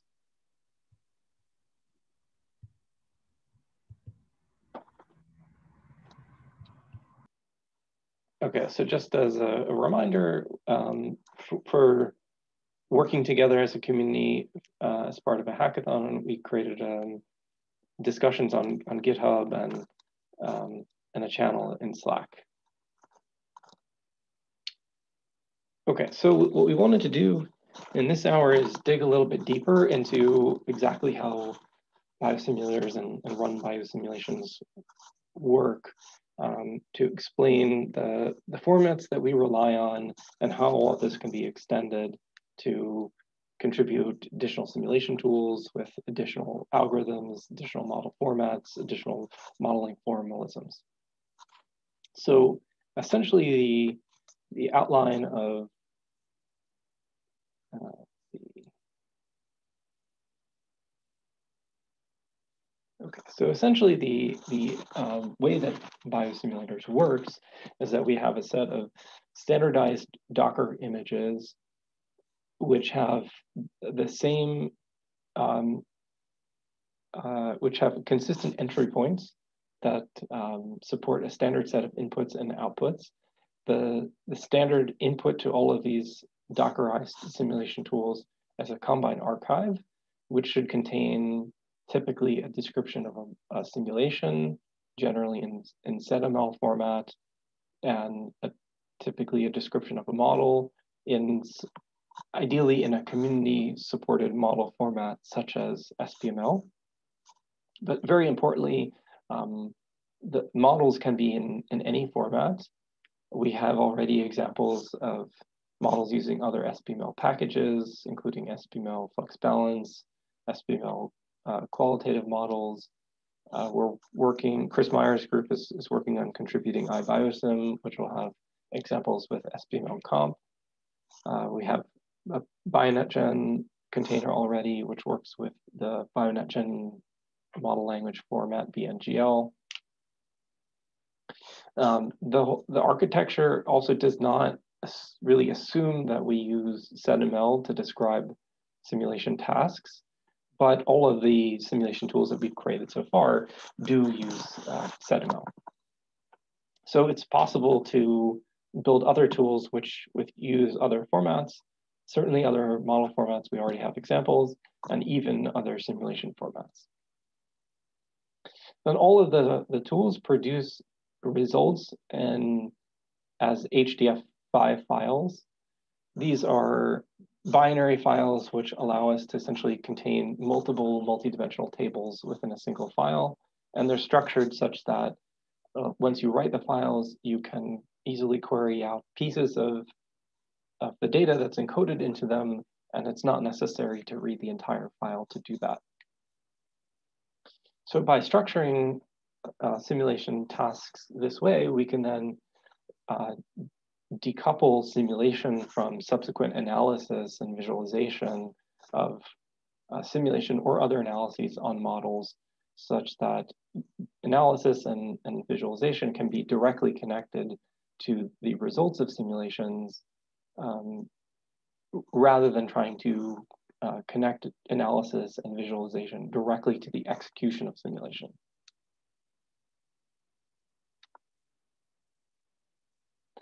So um, the way that to, to, dig into the, the Docker can, uh, images a little bit further. So the Docker images inside of them, they each have a standardized entry point, and the entry points are essentially like command line programs. So we've basically taken these Docker images and used them to wrap a command line uh, program. That command line program has two inputs, a path to a Combine archive that should be executed and a path to a directory in which the results should be stored. And the results are, are intended to be, in, uh, despite what it says here, they're intended to be in, stored in HDF format. If simulation tools produce other outputs such as charts, um, that will, can be put into these directories of, of results as well. And the other thing principally that, that gets included in directories are logs of the execution of a Combine archive. Now, in the case of all of the simulation tools that we have built so far, these standardized command line interfaces, which are inside of the Docker image, they are then in turn attached to an underlying, um, actually in most cases, they're attached to a, a Python library, which is then in turn attached to an underlying simulation tool. So there's several layers which we add together, which ultimately provide us with a standardized Docker image, which supports input in uh, as Combine archives and outputs as directories of results um, with the, the key results being encompassed by HDF5 files. Okay, so just drilling down a little bit further, again, we have at the center this standardized simulation tools, the input being Combine archives, the outputs being uh, HDF with simulation results, plots, um, typically in PDF format. And, and then we have logs of the execution of Combine archives, which we have developed a, a JSON schema for. So that uh, composes a standardized Docker image. So typically the, the simulation projects have inside of that, the Combine archives have inside of them SedML files, and then SedML files typically would reference models in a format such as SBML, and they also uh, reference algorithms and parameters of those algorithms, and, and that's done uh, through the use of KiSAO terms to identify specific algorithms and parameters. So the way that we uh, encourage consistency in the execution of simulations is that we uh, encourage developers to contribute terms to KiSAO, and then if you're uh, trying to understand how to make a simulation tool consistent with other tools, you would look into KiSAO to see if there's already a term for the algorithm that you've implemented. If so, you would map that term onto a method in, in your simulation tool. If not, then you would request a new term for another simulation algorithm or new terms for new parameters of, of that algorithm.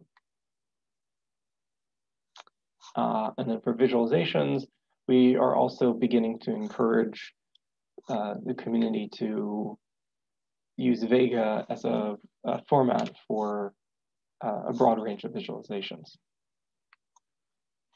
One other format that we have in the mix is we, or schema that we have in the mix, is we have developed a schema that captures the capabilities of simulation tools.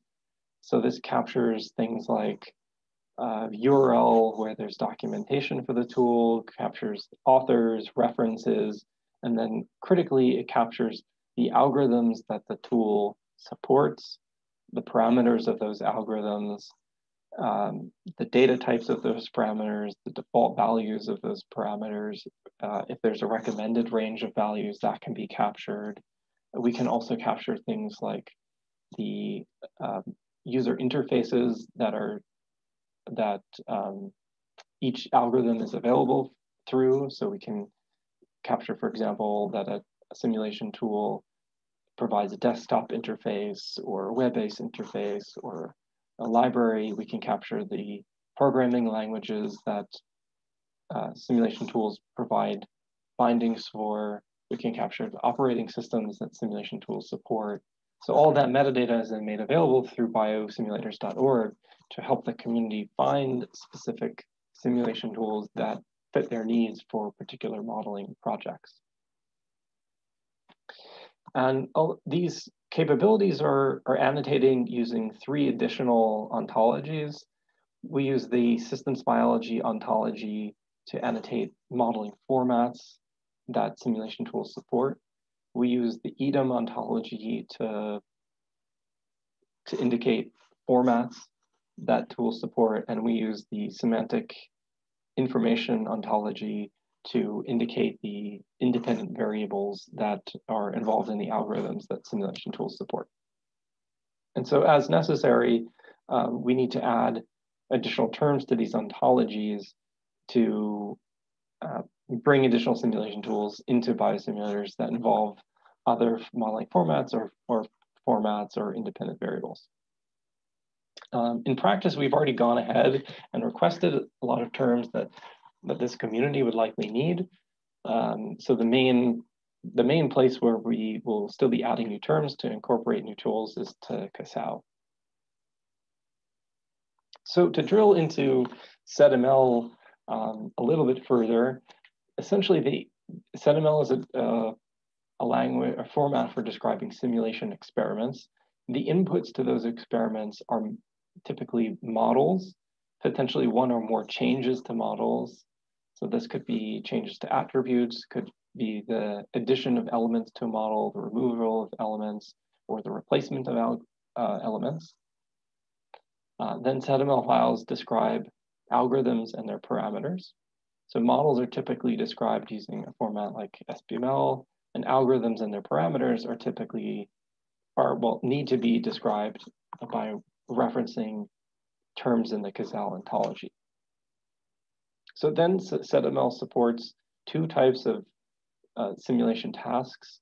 There are what I've, I've called here, uh, in, in SedML it's just called task, but these are essentially like atomic simulation tasks. These can be used to execute time courses, can be used to execute a steady state simulation, and going forward to better support um, uh, other analyses of models beyond um, uh, time course and steady state simulations, we will need to push SedML to rec recognize a more general type of simulation task, uh, which could be applied in, in, a broader range of circumstances. So then SedML supports uh, what's called a, a repeated task. And roughly, you can think of this as like a for loop where for each iteration of the for loop, you can set an attribute of a model to a specific value. So this can be used to encode things like parameter scans. You can iterate over a range of values of a particular parameter or a matrix of range of, uh, ranges of, of multiple parameters. And then for each iteration, set a value of a parameter in a model to execute a something like a parameter scan. Well, the third part of SedML is a description of outputs of, of simulation experiments. SedML supports two kinds of outputs. There are reports, which are, uh, SedML uses this, the term data set. So a report is a collection of data sets. A data set is essentially, is typically equal to the predicted value of a variable of a model, uh, often over a, a predicted time course. So these uh, predictions for model variables can be collected into reports. SedML files can have multiple reports. And in addition, SedML supports uh, a, a, few types of basic statistical charts. So biosimulators and, and run biosimulations primarily builds on uh, data sets. So we essentially encourage users to use data or use reports to capture all of the models of all of the outputs of a model. And then all of the outputs can subsequently be explored interactively after they're saved into a database of simulation results. So as I mentioned, SedML uses the KiSAO ontology to indicate specific algorithms and their parameters which should be executed. Now, I think it's important to point out at this point that despite its name, so the name of KiSAO is the kinetic simulation algorithm ontology, despite its name, KiSAO has many algorithms that are uh, part of the ontology, which are not algorithms for executing kinetic simulations. KiSAO already has terms for a variety of methods for logical simulation, for flux balance simulation, for optimization. So at this point, I would think of KiSAO as, as a little bit of, the name of KiSAO is a little bit of a misnomer.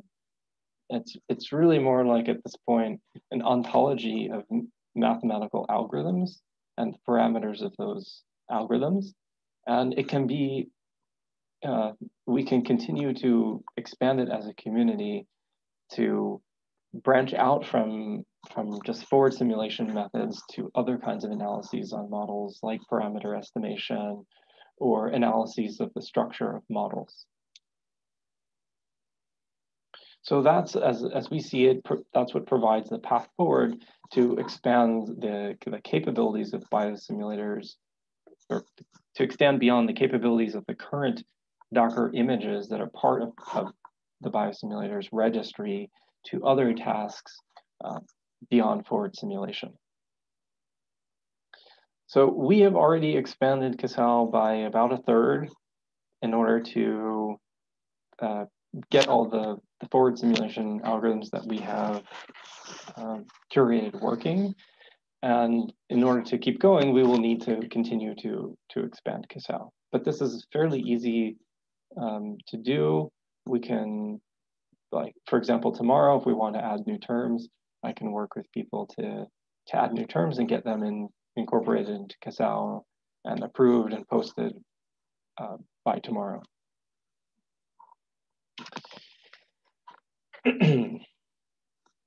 okay, so um, this is just a little bit more detail about what I, I said before about the outputs of, of SedML. So again, SedML can describe one or more reports each of these reports can have one or more data sets, and the data sets capture in what in, in SedML are called data generators, which are typical, which are mathematical expressions of one or more simulation outputs.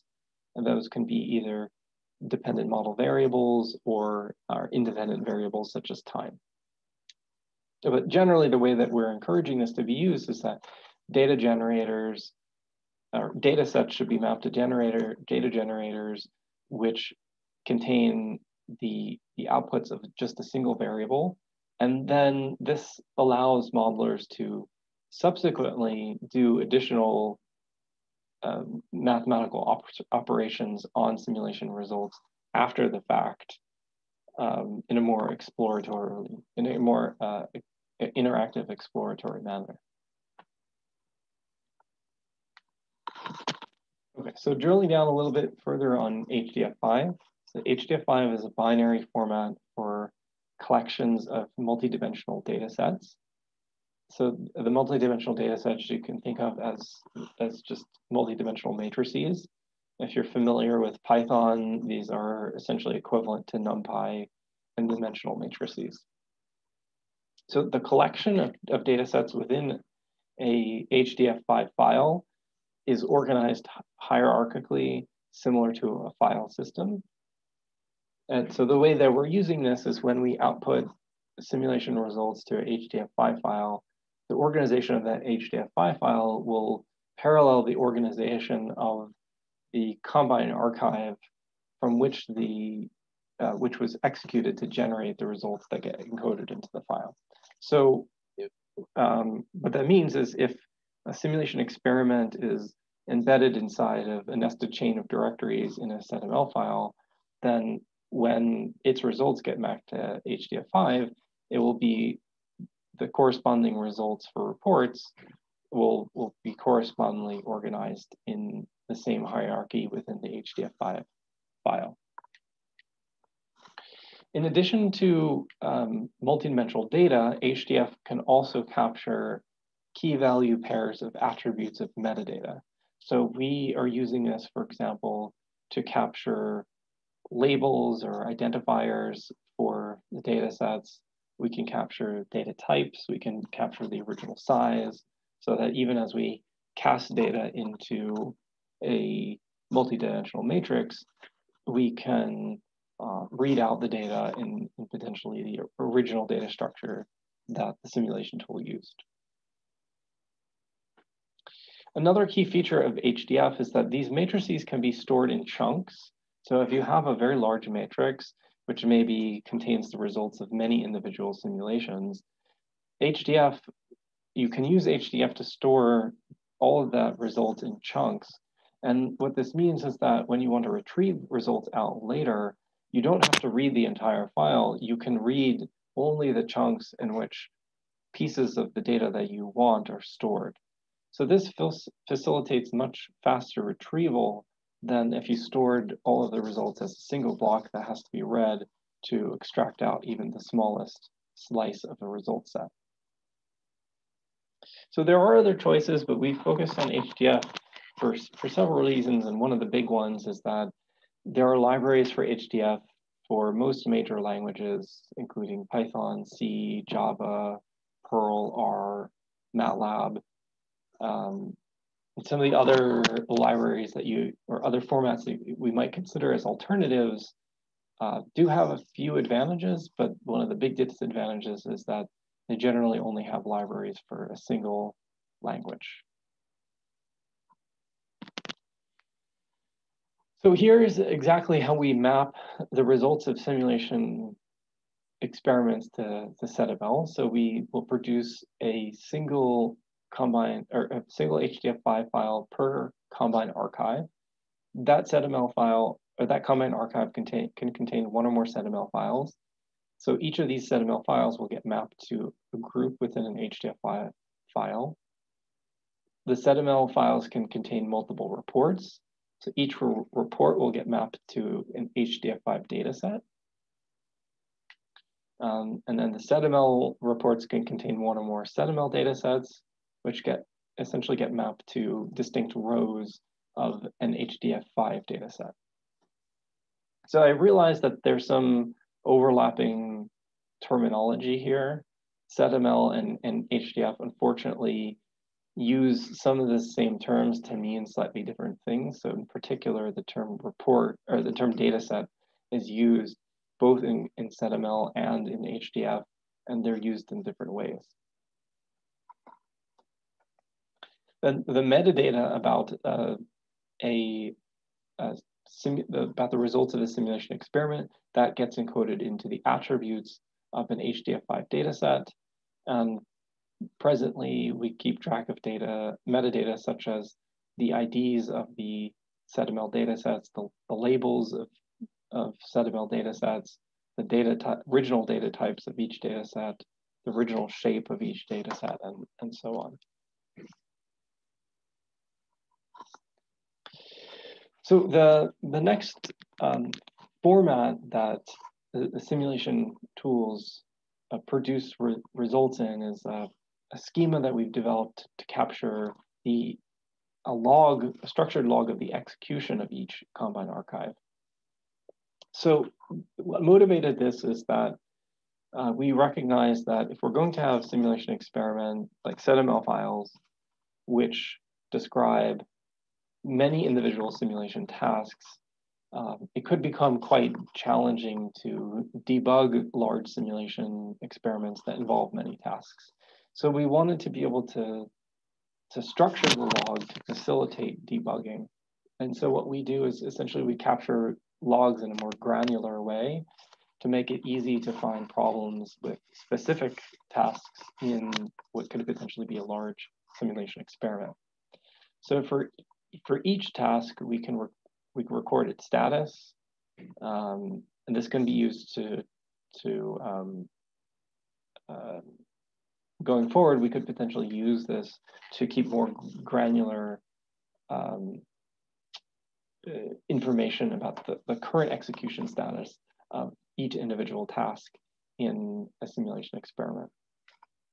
That, so the, the task can be queued, running, succeeded, failed, or skipped. The, the logs can capture the, the algorithm that a simulation tool actually executed. So the reason that this can be important is that, of course, no simulation tool executes every possible algorithm. So often simulation tools will, will see a, a, a specific KiSAO term recognize that they don't have the capability to execute that particular algorithm and execute a different, maybe similar algorithm instead. So the logs can be used to capture not just what was requested in a simulation experiment, but what the simulation tool actually did. And, and to drill down even more further to provide even more transparency, the logs can capture the specific function that the simulation tool executed and the arguments that were used to facilitate debugging or to facilitate reuse of the same simulation experiment using the underlying tool, which is encapsulated into the Docker image. Where there are failures or where uh, tasks are skipped, uh, the reasons for those failures or, or skips can be captured we can capture the duration. And of course, we also capture the standard output and standard error that was produced from the execution of each task. So this same uh, log structure is used to capture both the, the execution of simulation tasks as well as the execution of reports and, and plots in SedML files. So Bilal showed this in, uh, or gave an example of this in the, the previous session, but this is what the, the command line interfaces for simulation tools are intended to look like. So each, the main, the key things are that each simulation tool is intended to have an input argument to a path to a Combine archive file, and, and a second argument which provides a path to a directory in which simulation results should be saved. And we have also supported a couple of other standardized arguments for help. We have two, two ways of printing out help information, and we also have a standardized option for, for, for printing out version information about the about a simulation tool. So Bilal showed this before, but just to reiterate, reiterate, reiterate um, this is what the standard command line uh, interface enables. It makes it easy for us to execute the same simulation experiment, same Combine archive using multiple tools, of course, up to the, the limitation that each tool supports different algorithm or set of algorithms. But in cases where uh, two tools or multiple tools all support the same algorithm, then simply by changing the, the name of the simulation program, we can execute that study using one of, of multiple tools. So this can be handy if you want to compare simulation tools together, or if maybe you're experiencing a, a, bug with one simulation tool and you want to try a simulation with another tool, you can quickly switch to another tool and um, and see if that, that tool is able to get around the, the error that you experienced with the first tool.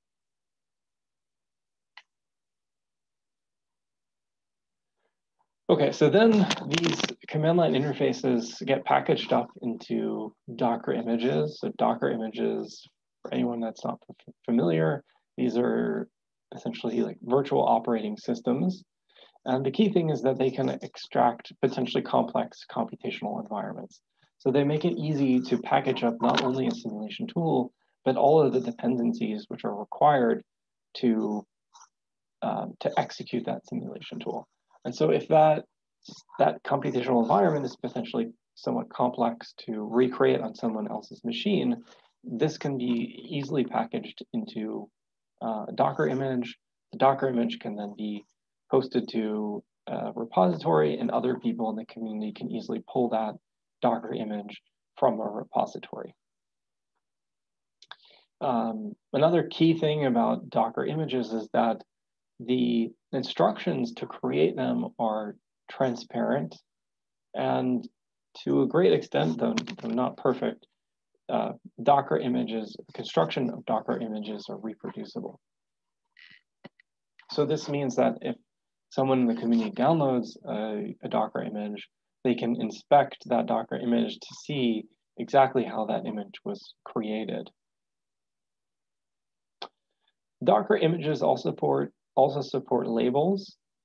So this, this is very similar to um, to tags in in Git. This makes it easy to uh, manage versions of simulation tools by tagging each of the Docker images for each version of a simulation tool with labels for, for different versions.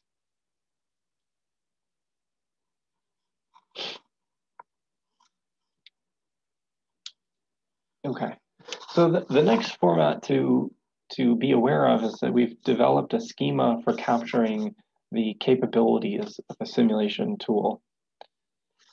So this um, can capture the, the model formats that a simulation tool supports, the modeling frameworks. So that would be like logical modeling, flux balance analysis, um, continuous simulation, discrete simulation, spatial, spatial discrete, spatial continuous. This uh, schema can capture the algorithms that a simulation tool supports and the parameters of those algorithms, as well as the data types of those parameters, the default value of those parameters, the if there's a recommended range of values, all of this can be captured. So essentially what this, this, um, this uh, schema for the specification of a simulation tool is intended to, to capture is, first of all, information that the community might need to determine whether uh, a simulation tool would be useful for the project that's for the modeling project that they have. So whether it supports the model and format that they want to work with and the algorithms they want to work with. And second, the, the file tries to capture, or the, the schema tries to capture all the information which would be necessary to know how to use the algorithms that the simulation tool supports.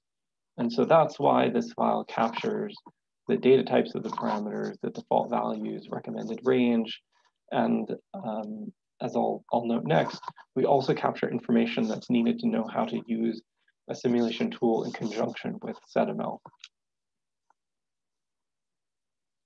Um, this format can also capture metadata about simulation tools. It can capture things like the author, the programming languages that it supports, the interfaces like desktop, command line interface, library, web-based, operating systems, who funded it, references, and, and so on. Yeah, so that's that's the metadata that I mentioned.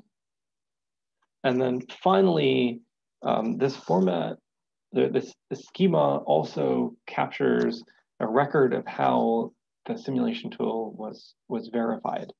That is structured like um, similar to a set of unit test results. And we uh, and we'll, we'll show the, the, the test suite, but um, for each test that the test suite executes, we'll capture the an identifier and a description of the tests, the model formats and algorithms that were involved, and whether the simulation tool passed or or failed the um, the test. And if it failed, then we would capture a reason why the test failed.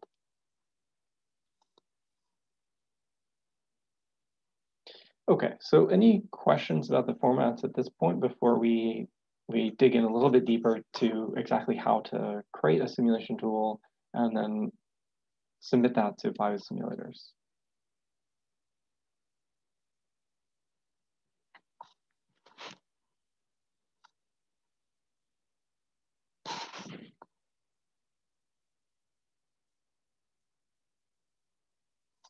All right, I'll take that as a Is there a question? Oh yeah, uh, quick question. Um, do you have like uh, uh, JSON schemas for these JSON uh, files? Yes, um, there's two. So the there it's available primarily in Open API format, but we have also converted it to JSON schema. Okay, perfect. Thanks. So the um, well, as, as Bilal showed before, you can see the the documentation for the schema at the um, at the Biosimulators API. And then um, there's a link there, as well as from the, the biosimulators.org webpage, there's a link to the, both the Open API and the JSON schema versions of the, the schemas. And maybe one more question from my side. So I was not aware of this visualization um, specification language Vega so far. Are there any uh, tools, for instance, for Python, which can be directly used with that? Yes, um, there, there's a whole ecosystem of things around Vega. Um, on, from Python, there's a, a package called Altair, which can be used to author Vega documents uh, from Python. So I think you can roughly think of this as a an alternative to using matplotlib. And um, that can produce basic charts, uh, similar to what you, you can generate with matplotlib. And that can also be, I believe that that can also be used to author arbitrary graphics. So things beyond what you can do with, with matplotlib. and um, maybe one more question here. Um, I think you mentioned on one slide that you, I mean, obviously SED-ML also supports the definition of basic uh, yeah. basic files. Do you also plan to allow for the construction of more complicated files, for instance, using a Vega type input then? Or yeah. will it only so, be? So the at the moment, the simulation tools are working with SED-ML um, L1v3, and L1v3 only supports two plots. it supports a two-dimensional line series plot and a three-dimensional uh, plot. The, the next version of, of SED-ML does support a few additional types of, of plots, but fundamentally it's a limited uh, set of plots. And so that's where Vega comes in. Vega is quite a bit more flexible. Um, you can use Vega to capture things like um, like a flux map for a metabolic network, where you paint, Bilal showed this in the previous hour, at, uh, and I can show this again, uh, where you can paint the um, the edges in a in a network um, based on predicted fluxes. In Vega, you can also do things like describe interactivity. So if you want to describe tooltips or zooming or panning, uh, that can be done.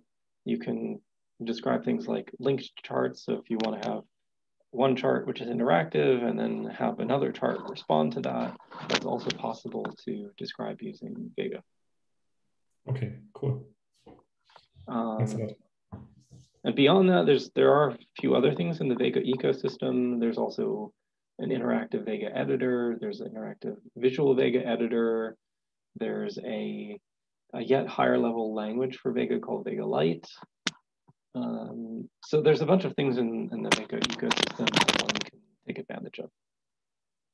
But really the key thing why, why we're embracing it is that we recognize that um, if you look at publications, uh, publications often involve complex plots and um, if our goal is to be able to be able to generate and, and reproduce uh, complex figures, then, then we need to embrace something which is going to be able to capture uh, essentially any arbitrary visualization. So that's what led us to Vega. The one major limitation is that Vega is really primarily oriented to two-dimensional visualizations.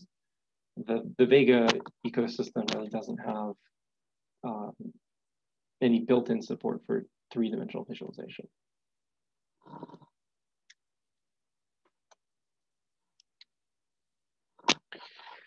Okay, so the first thing that we, if we want to develop a simulation tool, the, the first thing that we would need to do is build in standard processing for Combine archives and, and SED-ML. So the simulation tool would need to unpack the Combine archive, identify the simulation experiment files inside that, that archive, and then execute those, uh, those simulation experiment files, collect their outputs, log the, the execution, and save all the results to an HDF5 file. And um, if simulation tools um, decide to, they can also support plots or other uh, outputs, which can also be bundled into um, or saved to the, the, same output directory, in which case run biosimulations will save all the outputs and make that available to users. So to, to do this, um, as part of executing a SED-ML file, tools will have to resolve the models which are indicated, apply model changes, uh, map KiSAO terms to specific functions for executing algorithms, um, execute those, those functions, collect their outputs, uh, log their status. So at present, all of the examples that most of the examples that we've created represent forward simulation algorithms. But by adding additional terms to KiSAO, we can expand this to, to um, other algorithms beyond forward simulation. So this is how we could expand to parameter estimation methods, other static analyses of, of models which don't produce time courses. All of this, I think, can be encoded into this uh, framework, and especially if we push to make SED-ML a little bit more general, I think all of this could be encoded fairly nicely into SED-ML files and inside Combine archives. Now, one thing that we, you know, uh, recognize quite acutely from, from this project is that although there are some tools which already support SED-ML, um, there's a fair degree of inconsistency in the execution of SED-ML documents uh, among the the few tools which uh, do already support SED-ML. So in order to encourage consistency, we have put together some uh, guidelines which essentially fill in some gaps and some things that are not clear in the SED-ML uh, documentation to encourage simulation tools to be more consistent in exactly how they support SED-ML. So I don't, we can skip over this. Um, but it's just to say that we, we do recognize that there's a lot of inconsistency and we have tried to navigate that but by providing a specific set of guidelines for how to use SED-ML. And in most cases, this doesn't correspond to how any individual simulation tool, uh, any existing simulation tool actually implements SED-ML. Um, right, so as, as we discussed, I think all of this can be extended beyond um, forward simulation algorithms. To a substantial degree, it, it is already um, being applied beyond kinetic simulation algorithms. We already have examples with flux balance analysis methods. We already have examples with logical simulation methods. Uh, we have an example of a, a steady state analysis um, method. Um, so I think we have shown that we can continue to expand this beyond forward simulation methods um, largely by introducing new KiSAO terms, mapping out, and then mapping those new KiSAO terms to functions of simulation tools.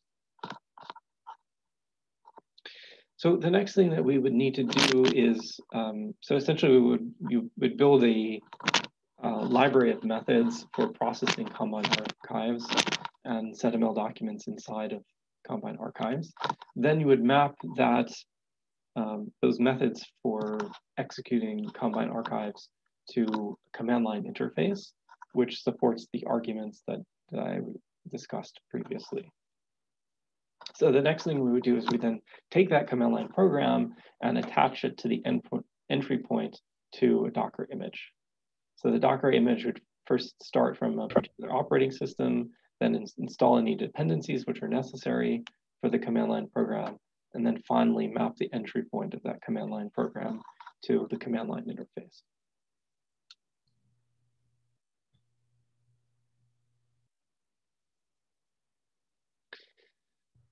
So to help um, people understand how to use a, a Docker image, we also encourage the Docker images to define all of the environment variables that the tool supports and the default values that the, the tool uses. And we also encourage tools to use open container labels and bio, uh, containers labels to capture metadata about tools. So this way you can take your Docker image and uh, post it to registries like Docker Hub or GitHub Container Registry, and they will automatically re recognize all the metadata that you embed into, into your Docker image. So once you've created the Docker image, then we, we want the Docker image to be published to a public repository. And you can use any public repository. Um, for our purposes, it, it doesn't um, matter. Uh, we in, in internally use GitHub Container Registry. We like it a lot because you can manage it using the same uh, GitHub accounts that many of us are using to capture software repositories. Um, Docker Hub, of course, is also a very popular place to post images. Another benefit of the GitHub Container Registry is that it doesn't, at least presently, have the limitations on, on polls that the Docker Hub registry has recently imposed. So, okay, once we have built a Docker image and we've uh, pushed it to a public repository, then the next thing that we need to do is curate the capabilities of the tool. So as we, as I discussed before, we would curate the formats that it supports, the modeling frameworks, the algorithms, and, and metadata about the simulation tool. And all this would get encoded into uh, JSON schema. We have um, so the schema is, is available online.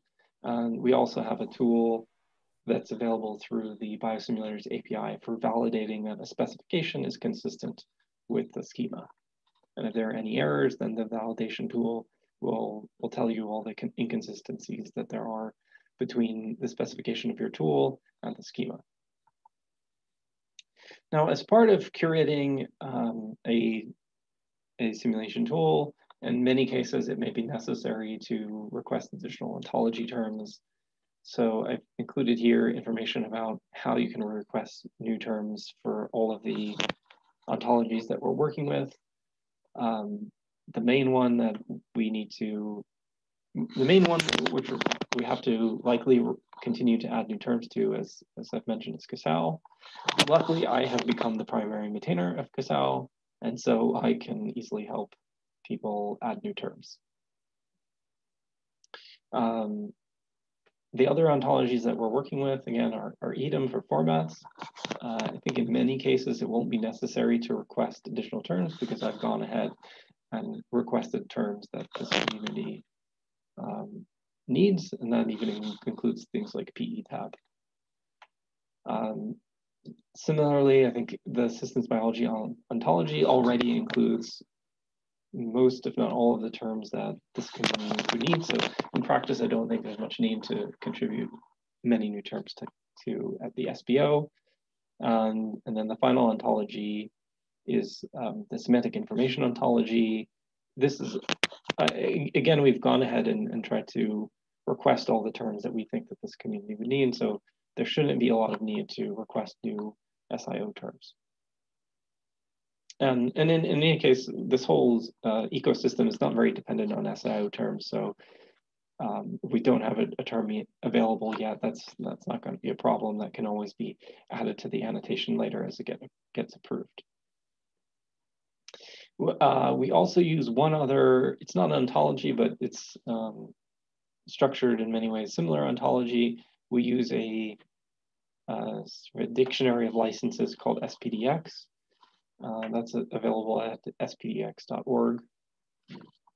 And um, so this allows us, this provides us essentially like a standardized vocabulary for describing licenses to simulation tools. So in most cases, unless you're using a custom license, it shouldn't be necessary to request new terms because SPDX already has terms for all the major open source software licenses. Okay, so once you've created a simulation tool, you pushed it to a public Docker registry, you've annotated it, then we can go ahead and, um, and validate the simulation tool with the test suite that we've created. For, so for this, we have two options. To make it easy to validate simulation tools and to help us curate simulation tools, we've created a cloud deployment. This uses GitHub issues and actions, and, and I'll show you exactly how we, we can utilize that. There is a second option, which is you can install and run the test suite locally. This provides a little bit more flexibility. So similar to a unit test runner like PyTest, uh, this can be used to run not just the whole test suite and all the tests, but you can run individual tests.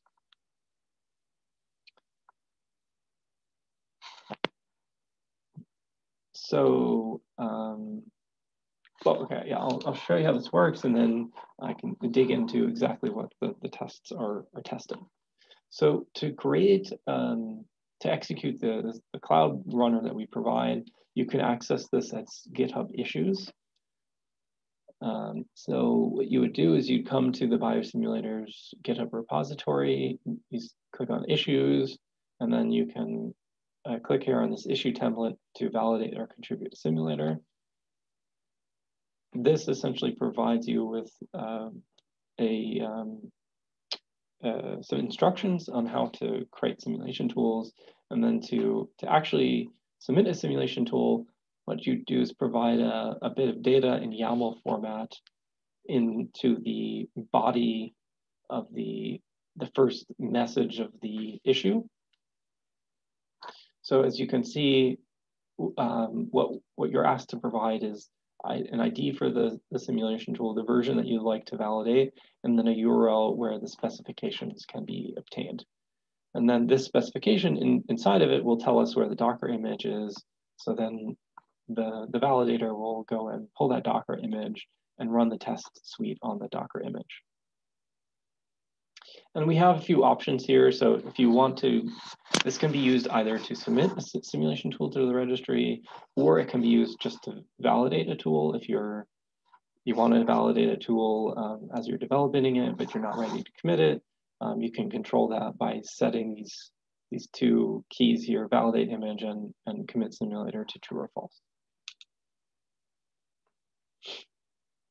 So the the so when you uh, create this image, what will happen is this will trigger a GitHub action, which will go and use the test suite uh, to uh, pull your specifications, in turn pull your Docker image, and then use the test suite to validate your image. The results of the, the, the execution of the test suite will get posted as messages to this, this GitHub issue.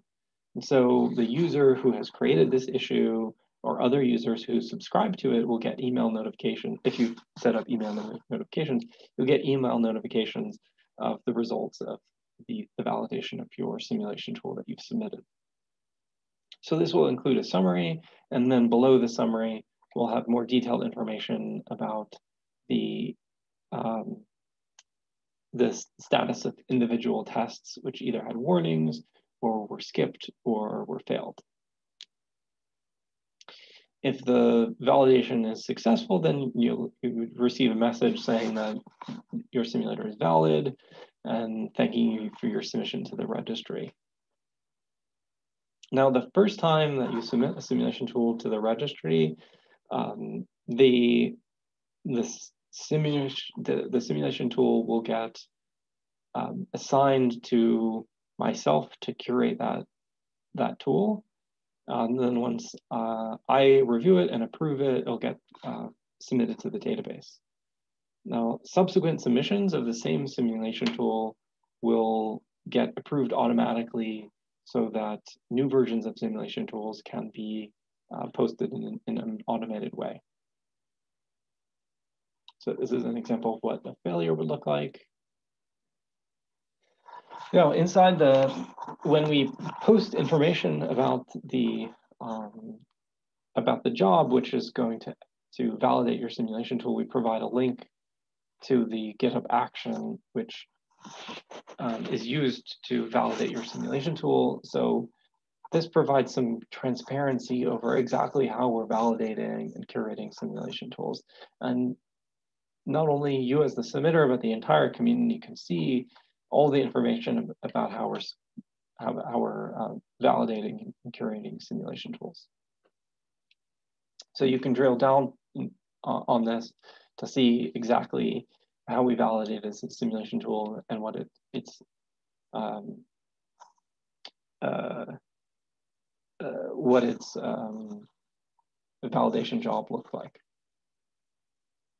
So this uh, this GitHub issue action system is, is basically set up, uh, one, to provide a cloud deployment that the community can use to validate simulation tools without having to install the, the test suite on their own machines. And second, it's set up to provide a very high degree of transparency so that anybody who wants to use these tools can see all the details of how a simulation tool was was validated and, and curated. And if, if there are any failures, this system also allows us as the um, as the lead developers of, of biosimulators to be able to see those errors and give people advice or help to resolve errors that they may be experiencing in the validation of their um, simulation tools. So the, the test suite tests for several things. Um, essentially, we're going to we're going to test for standard behavior uh, along all the dimensions of simulation tools. So we test that the standard that the command line interface supports the standard arguments. We test that the Docker image supports the standard entry point that we've outlined and the standard labels that we recommend. We test that Combine archives are executed as intended. Uh, and then the main part of the test suite is we test that SED-ML documents are executed as intended. So we test that um, that models or that simulations are executed and that reports are constructed with the expected uh, output structures and values. Now, uh, this is a point where we have the opportunity, if we wanted to, to integrate even deeper testing. So if we wanted to integrate into this test suites for specific model languages, that could be done. Or um, if there's a desire to use uh, other formats than SED-ML, um, this is a point at which we could execute other uh, test suites in, in, in place of this um, these SetML tests. So what would happen is, is basically if we, as we expand this, then um, many of the, the tests will get skipped for particular simulation tools which don't support the relevant formats or relevant algorithms. And the, um, the test would get, would get expanded with a larger number of cases that cover different formats. So the, the SED-ML test suites, or this, the SED-ML tests are composed of two parts. First, there's a set of curated Combine archives that um, where we have not only curated simulation experiments, but we also have curated expected results. And so we go and run these um, curated archives, which are essentially all derived from published simulation, published papers, and we check that their outputs are generated as expected. So that's fairly straightforward. Um, the problem with this design is that there's a lot of features of SED-ML and there's a lot of model languages that we would like to use this in conjunction with. And we don't want to have to curate a large number of of archives for every model format, every simulation algorithm, um, and every feature of SED-ML. So instead, what we do is, uh, so the there's a, a README in the the GitHub repository for the, the test suite, which outlines all these curated archives. So the, the other thing that we do, and the, the primary way that we generate examples for the test suite is we use these curated archives to synthetically generate additional archives, which allow us to probe for support for particular features of SED-ML or particular simulation algorithms. So this allows us to, if, if we want to expand the test suite to another model format, then in many cases, we will only need to add a single additional curated archive. So for example, the all of the tests for the flux balance analysis package for SBML or all the tests for the uh, qualitative modeling package for SBML, all of those are conducted just with one combine archive each for flux balance and one combine, uh, one combine archive for, uh, for qualitative modeling. So it's quite easy to expand the, the test suite to additional model formats because the test suite will just go and synthetically create all the test cases that are necessary from just one archive.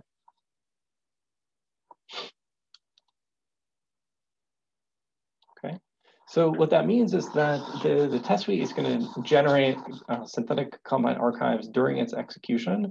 And the command line version of the test suite provides an option to save these archives out. So if you're building a simulation tool, you're running the test suite and uh, the test suite is failing on your simulation tool, you can um, uh, use the command line version of this to output the synthetically generated archives so that you can inspect them or run them directly with your tool. Okay, so once you've got your simulation tool working consistently, then you'd be ready to, simulate, to submit that to the biosimulators registry. So you can use the same GitHub issue that I showed before, uh, but this time you would indicate that you want to submit your simulation tool to the registry. This will then go ahead and use a GitHub action to execute the test suite. And then as I mentioned, the first time that the test suite is submitted, then we would um, assign the, the GitHub issue to a curator, which would be myself, to review the, the simulation tool. Um, and then subsequent versions or submission of subsequent versions of the simulation tool will be automatically accepted um, if they pass the test suite. Now, we would like uh, simulation tools to, to automatically, we would like simulation tools to release uh, not just a single version to biosimulators, but we've structured this to try and make it easy for developers to continuously submit new versions of their tools just as you would push them to um, PyPI or CRAN or, or other uh, software management packages. So because this builds on GitHub issues and, and GitHub actions, this can be done by using the GitHub API to programmatically create issues to submit simulation tools to um, the biosimulators uh, GitHub repository. And then again, once those issues are created, the um, the tool will be uh, automatically validated. And if there's already a version of that tool which has been um, approved in the database, then the, the, the new version of the tool will automatically get accepted into the registry. And, and furthermore, we would encourage developers to integrate calls to the GitHub API into continuous development or continuous deployment actions in their the repositories that they use or associated with the repositories that they use to manage their simulation tools. So we have examples for how to do this with GitHub Actions, where you can um, attach an, an action to use the GitHub API to push your simulation tool to biosimulators to the creation of a new tag or new release to your GitHub repository.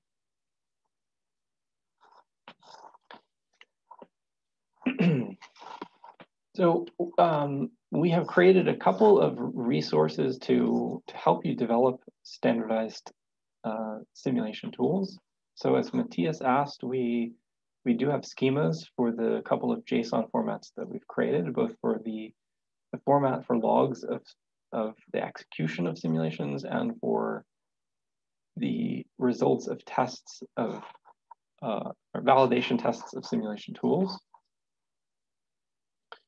Um, we also have um, a library that's called Biosimulators utils, which can be combined, especially with Python-based simulation tools, to provide Combine and SED-ML support uh, quite quickly with, in most cases, probably only a, few hundred lines of code to create a standardized uh, simulation tool.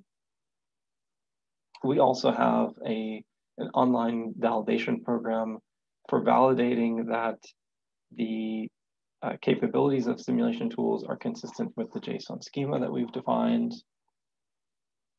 And, and then finally, we also have guidance on how to use uh, SED-ML and, and HDF and all the other formats that we, that we um, have embraced online at, at biosimulators.org. Okay, so before I, I stop and, and open up this up for questions and discussion, I just wanted to remind everyone about the outline for the rest of Harmony. So today we, we gave two brief tutorials on how to use run biosimulations and how to develop additional simulation tools. We have scheduled for tomorrow is we reserve time for the biosimulators, run uh, biosimulations developers to help the community develop anything that you would like to develop on top of the platform or contribute to the platform. And then on Friday, we have scheduled an open forum for feedback or, and discussion about future directions. So in the slides, which are available on Sketch, we have some ideas about potential hackathon projects for tomorrow. And we have links for places to facilitate discussion during the hackathon.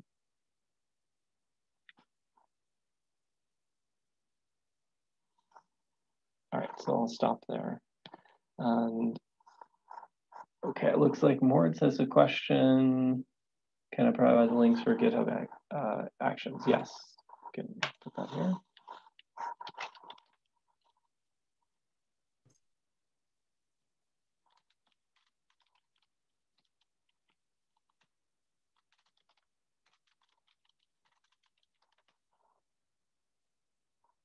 So I can uh, show you exactly what this looks like. So in, in most cases, we have, um, to kind of get this going, we've been externally adding um,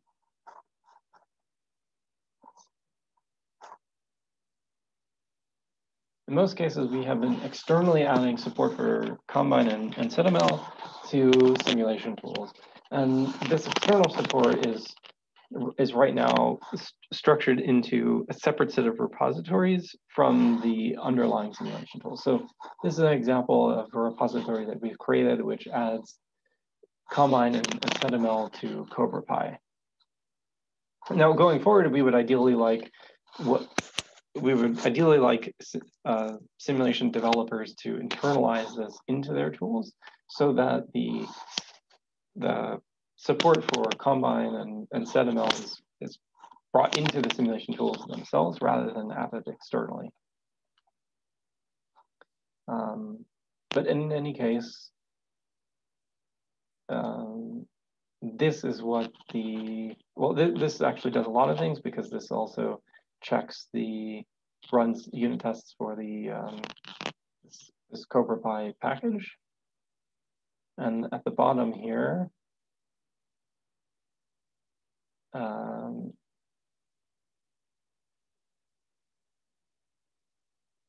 at the very bottom here is an example of how to automatically, programmatically create a GitHub issue.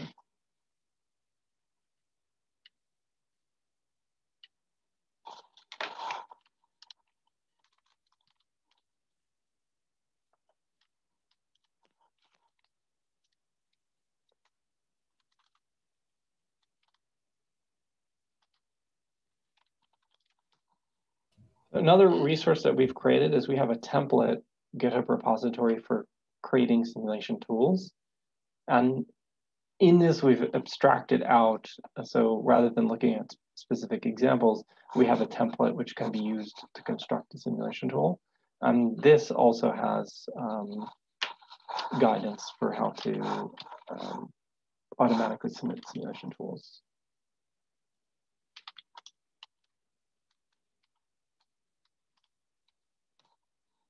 Uh, one other thing I should mention is we do also have a tutorial online for creating simulation tools. And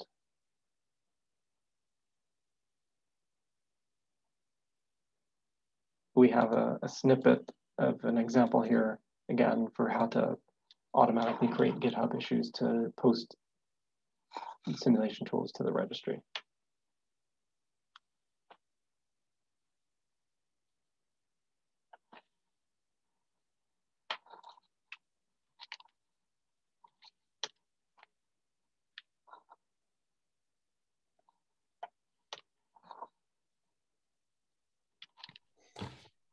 Yeah, thanks a lot for the presentation, uh, for this overview. Really cool.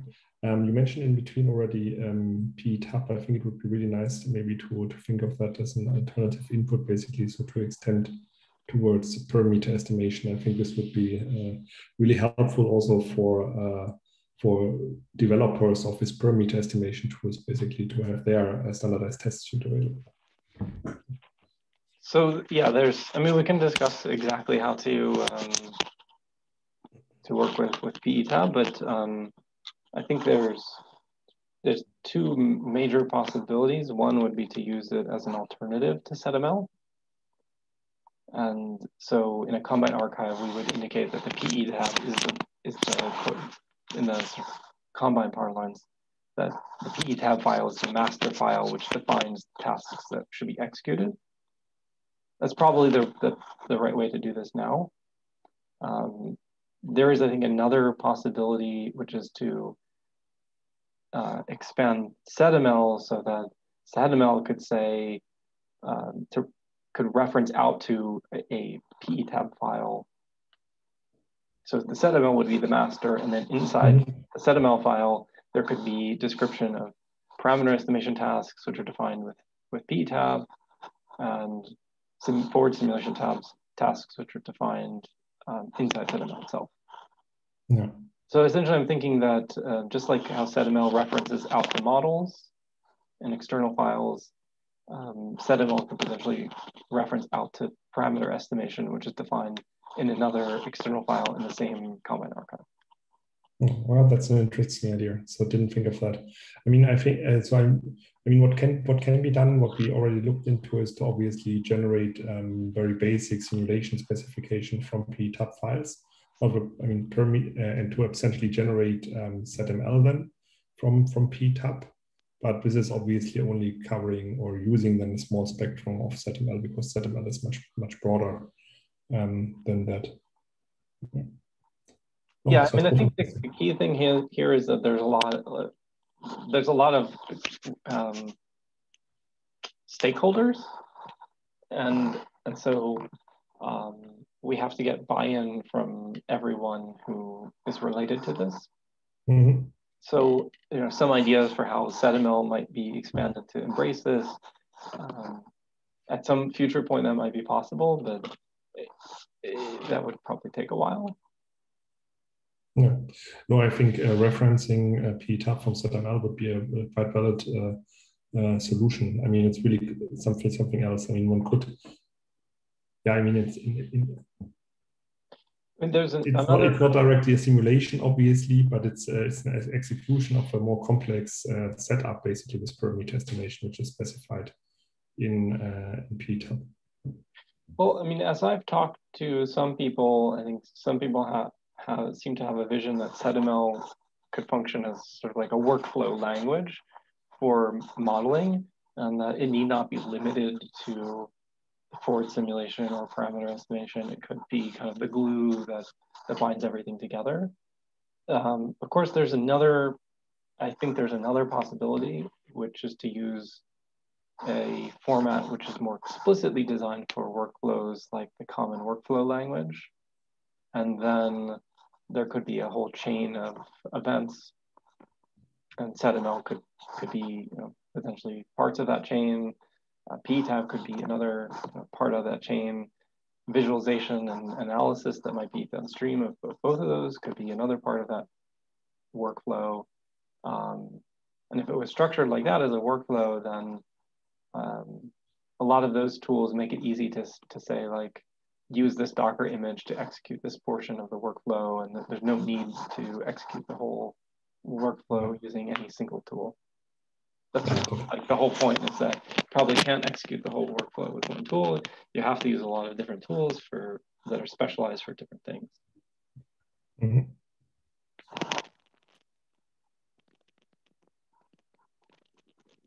So I mean, I think we should just you know brainstorm exactly what the right way to integrate um, PEtab would be and how to do that given the current structure of SED-ML. Yeah, sounds good. But I, I think if we can do it, and especially we can get some of the the PEtab tools into a Docker format, then um, then we would be able to offer a web-based uh, way of executing those tools as well. So you, you, you conceptually, con conceptually, it shouldn't be a problem to to Dockerize many of the tools. For some, it's it's it's a bit of an issue. I mean, for instance, MATLAB-based tools and so on. Dockerization is obviously I don't have to tell you. And for instance, two of the current tools which are implement so two of the eight tools implementing um, PEtab right now, I think, uh, yeah, they are MATLAB based, so they would have an issue. But conceptually, for the remaining six, I I think this would be possible. Although obviously, I mean, this is currently not done for the different tools, so it might be some some work to get that set up. So um, regarding I mean licenses as far as executing simulations for the community on the web, um, so that would relate mostly to maybe Jan can answer this question. What licenses would be available to us from UConn's HPC system?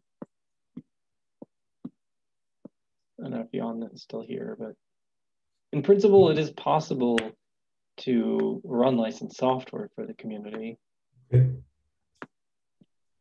Yeah, I'm still here. And it, I mean, I know UConn does it internally. Um, maybe Jan can comment on how much those licenses would permit us to offer this as a service to the broader community beyond UConn. Which license is that? So the example is MATLAB, but this also comes up with flux balance, where uh, in particular CPlex or Gurobi might be desired. So if we manage, like the, the, the site license is uh, allow unlimited users for, for research is close to a quarter million per year. So, so I think the, the question is, um, so you already have a site license. Um, so, so they, would you be able to use that as as we are currently, which is so here we're, we're offering this really as like a service to external users beyond the University of Connecticut researchers. Correct.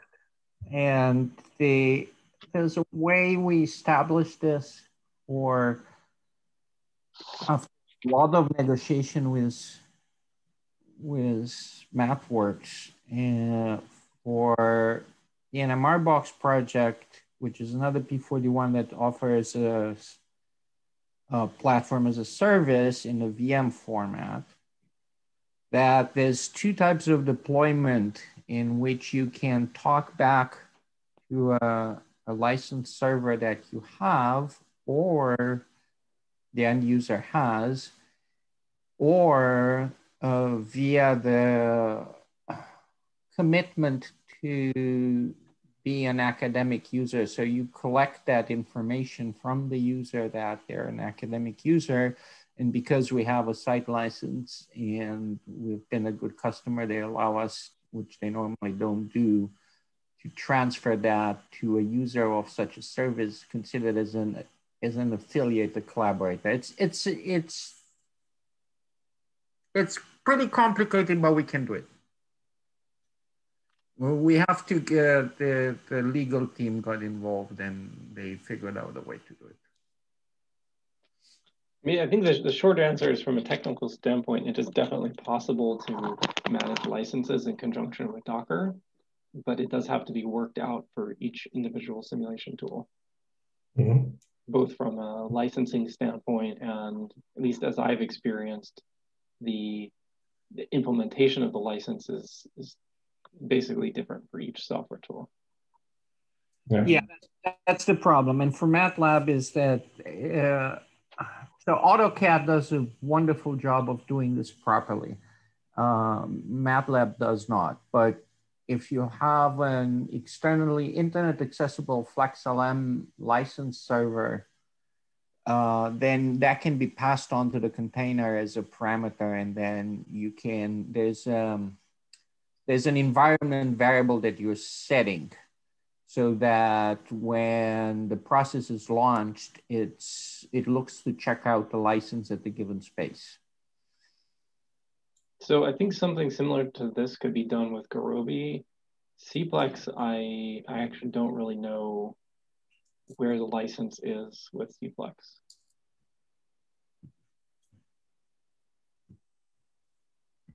But I, I, think in general, like IBM seems to be quite friendly to academic users.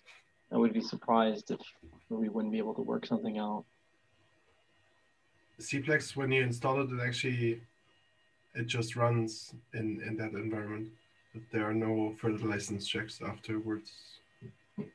So I think they, they only checked it when you sort of get the installation file. Yeah, I mean that uh, that's my, my experience, but I wasn't sure if there's some license file embedded when you download Cplex as a academic user.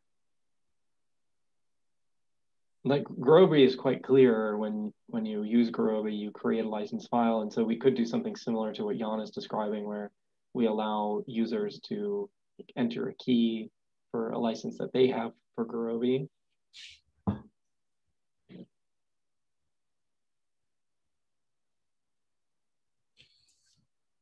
Yeah, I mean, as mentioned, for our own tools, this wouldn't be too relevant, but I mean, there are quite a few tools where this actually plays a big role. I think in this um, community focusing on parameter estimation and so on, there's quite a bit of work still done in MATLAB, and quite a few very good tools are actually available in MATLAB. So, um, yeah.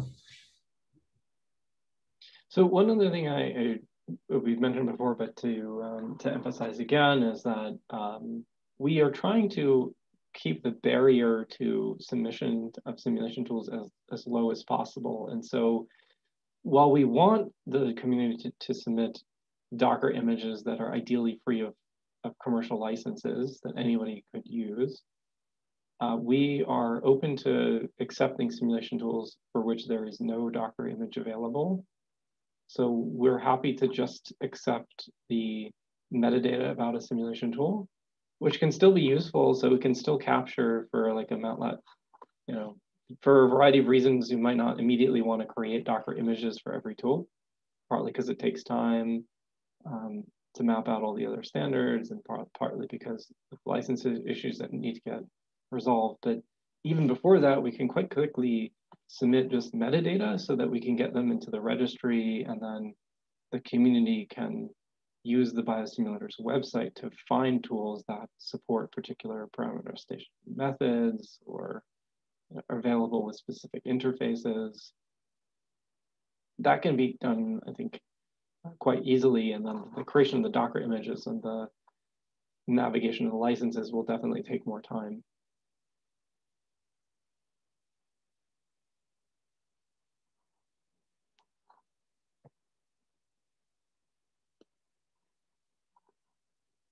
Any other questions?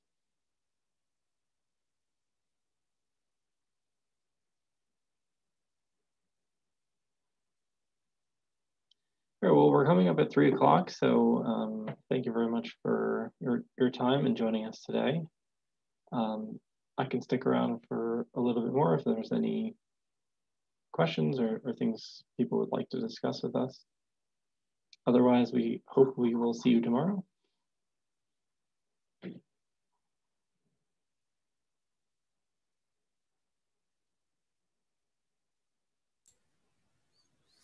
Yeah, thanks for the session. Bye. See you tomorrow.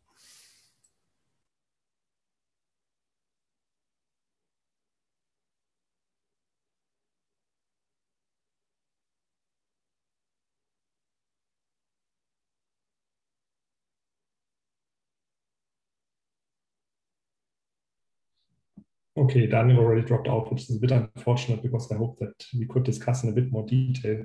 But then I would suggest actually that we take a separate telephone conference on that. I mean, I already wrote the email, which you probably saw. but uh, I think this would be extremely valuable to have this type of functionality, validation, and so on for the different for the different tools, basically in a centralized place. I mean, what we are currently doing on the PE side is really quite suboptimal. That uh, all the toolbox developer, developers test themselves. We have a few standardized tests, but um, it's not. This is not really not really clean, basically, and um, yeah, this could be really helpful and make also everything much more accessible. So I, I would really uh, appreciate there if you could if you could kind of push this uh, push this together. And I mean on the, on the input side, how we integrate it with SED-ML and so on.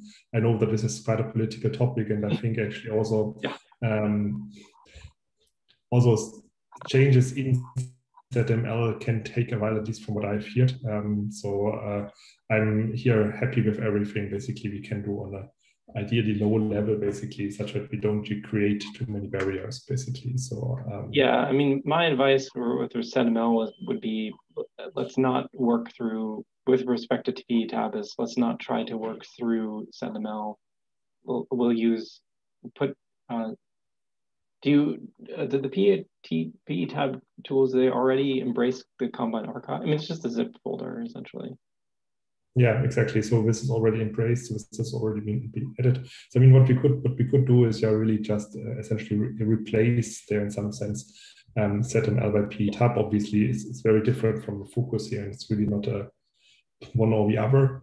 But I think this would be quite. Uh, I think this would be currently the way to go essentially. So um, yeah. So everything that we have um, I mean, if you go to the website, like obviously the, all the existing simulation tools use SED-ML, but uh, but the software that we've developed really doesn't make any assumptions that you're using SED-ML. oh no, that became quite clear. So this detailed introduction was also quite quite valuable. Um, I think we sit together and uh, I would have to bring in probably a PhD student from my group who's on the sure. work basically to um, to push to push this thing thing forward. Um, to really sit down what the individual steps would be basically where we what we can and have to do i mean obviously we we could start with um, generate, generating a first example basically on our side obviously things like um, PyPesto in combination with Amici, which would be like for us the standard pipeline for this fitting, this should be quite easy to Dockerize. So that I don't have any concerns um, at least I, I, don't come up with any more. If you, if you ask my, my, so my coworkers, maybe they have some, but uh, I think as this is all Python and C++, this should be quite straightforward, basically, to go. So and then you could use that a, Sorry, so to just to interject one thing. So in fact, we already have um, a Docker image for Amici. It yeah. doesn't execute parameter estimation, just does forward simulation with CVODE. But yeah. this already provides some of the basic structure for the Docker image that we need, the command line program, and you know, and so on. Yeah, I, was indeed aware of that, um, but I this could be also then a corresponding starting starting point, basically. Um, yeah, uh, I, I, I think there is no, at least from what I've seen now in the presentation, I think there is no technical limitation or so basically of a platform you develop so um, or of our tools basically to set it up in this in this way. So I think one just has to do it essentially. So which is a good good situation. Yeah, probably, there may be a few small things here and there that we have to to generalize, but we have we've tried very carefully not to assume any particular format, mm-hmm. especially on the model side. Um, yeah, I mean, what one probably would have to discuss specifically is the output formats one, one assumes here. Um, I mean, we are already using um, HDF5 files as output formats basically of the pipeline, so this would quite naturally um, integrate, mm-hmm. so at least for at least for, for PyPesto. um, yeah, I know the so, other probably don't. Exactly. but the, the same is true was true for simulation tools. I mean, none of them used HDF. They all used CSV. And, and so one of the problems was, for example, SED-ML has this notion of a repeated task, but no tool has a way of outputting the repeated task. So it's a, you know, SED-ML is a very funny thing, but um, yeah. Yeah, I've also not found a very good um, editor for SED-ML files or so so far. Basically, where one can easily construct them. So this yeah. is this, this essentially hindered us. So when we were actually thinking about what to do, basically, I mean, our first before we had PEtab, basically our first starting point, yeah, let's look at SED-ML basically and let's see how much this covers. And I mean, conceptually, it covers a lot, but there are just no real, not so many tools which actually support it basically. And if already the construction of a SED-ML file is just that creates a headache, basically, I mean, you really don't want to do it. And uh, yeah. I wish, unfortunately, I wish you were all selected as a, a ZML editor because um, you seem to share the same sentiment that I have is that it's the standard, but of course, like it's not really standard at all. It's just yeah. it's very broken, unfortunately yeah, it's not so accessible. This is this is quite unfortunate actually. And I mean, for for SED-ML, I mean, also, I mean, uh, sorry, for for SBML, obviously nobody looks on, not so many persons look at the XML code, but there are really nice editors available basically, and really a lot of tools to, to work with that. And this is more or less the way we have to go also for SED-ML, but uh, so the same holds actually true now for PEtab, because I mean, let's be honest, I mean, we one also has to dive into these TSV files to construct the uh, respective experiment definitions, which might be a bit more accessible, but not much than XML. But it would be really cool to just have an editor basically to construct these files in a very standardized uh, and easy way. So for, for that, you, I mean, I would, one thing I would suggest is we created this this thing that we call object tables to allow us to take a, a linked set of tables and encode them into Excel. Um, it's still not uh, an, a, like a complete visual editor, but it does allow you to take advantage of a bunch of the features of Excel. So you can do things like lock the you know, headers, you can provide sort of like inline help through comments, you can have some degree of inline validation, table of contents, and then all this can be automatically parsed out into a data structure. I mean, we, I guess our, our thinking was that there are a lot of use cases where you, you want something that's that's more than just a text file, but at the same time, Excel is it's hard to deny that Excel actually is quite useful in a lot of cases. And so for, for your use I, I feel like sorry.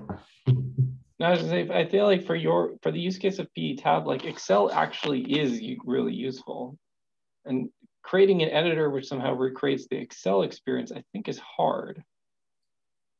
So we're so like actually this was also the design criterion for us for PEtab basically. So we want wanted persons to be able to use something um, they also use on a very regular basis, like uh, Excel over um, open alternatives basically to this. And essentially all files in um, PEtab, but um, the uh, uh, YAML file basically for binding things together can be edited, constructed in, in Excel basically or similar tools basically. So this was my intention, but obviously what we don't have is a um, let's say an Excel-based validator. I mean, there is a validator obviously for for format and so on, but um, this is already far less accessible or only accessible to person persons with some Python, uh, very basic Python uh, skill set, basically. Yeah. So so with object tables, we've we've tried to wrap this up so that you can define a, a the schema declaratively, and then um, we have provided a REST API that you can use to validate documents according to that schema. But it, it comes very much from the same philosophy. We want people to use Excel because it's installed on like literally a billion computers. And everyone that you might imagine using PEtab like already knows and has Excel or something similar.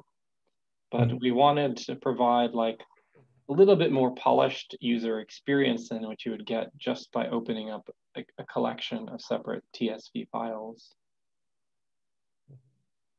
Because if you open up separate TSV files, Excel won't really treat that as one workbook.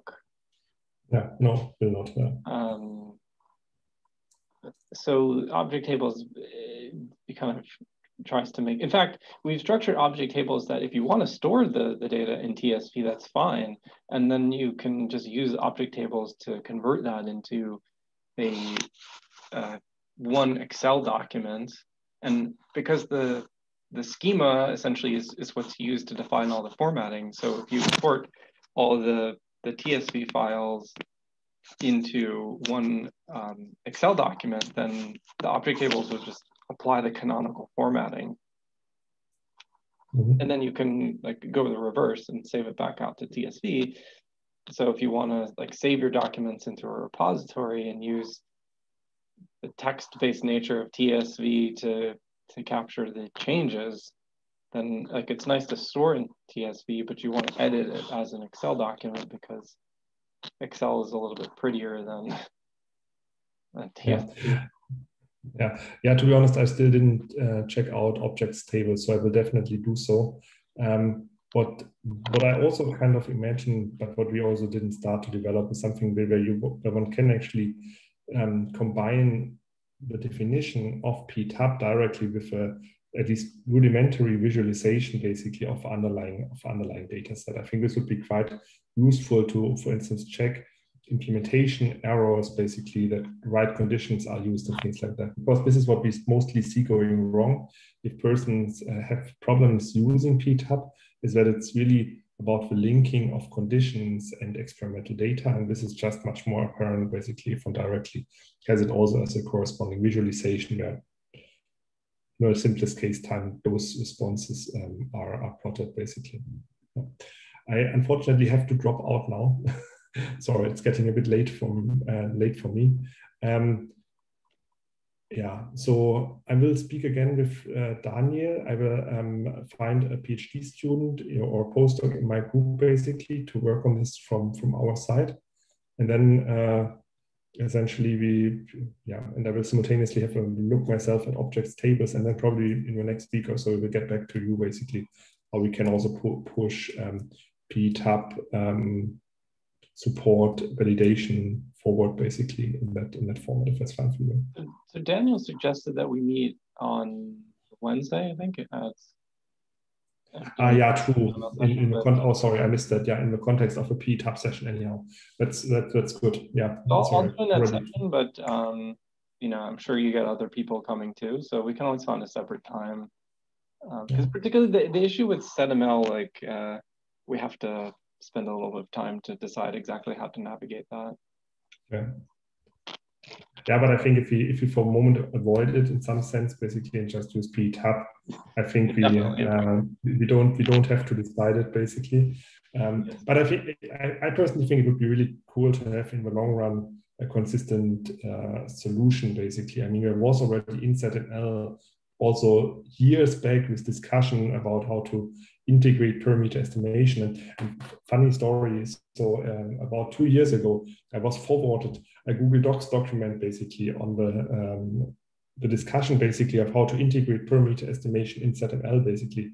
And, and I saw that I thought all really cool and started editing comments and so on. And uh, like an hour in, I realized, oh, damn, that document was from 2013.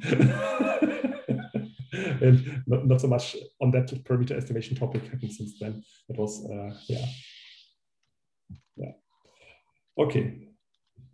All right. Um, then, yeah, I will drop out now and um, I would suggest regarding meeting on PEtab and so on, we follow what um, has been suggested by Daniel. Um, I'm not sure how many persons will really come to this PEtab session. It's a bit difficult to, to predict. I mean, there are some registrations now, but mostly of uh, names which already know about PEtab. So I think based on what I've seen, I guess it would be a quite detailed discussion, and then this would also fit uh, very, very nicely into that. Yeah, yeah I agree. But, Hard to know who will be there. yeah. Thanks a lot for the overview. This was really, really helpful. Um, the recordings will be shared afterwards or on a, on a separate link? Or uh, yeah, we'll figure out some place to put them.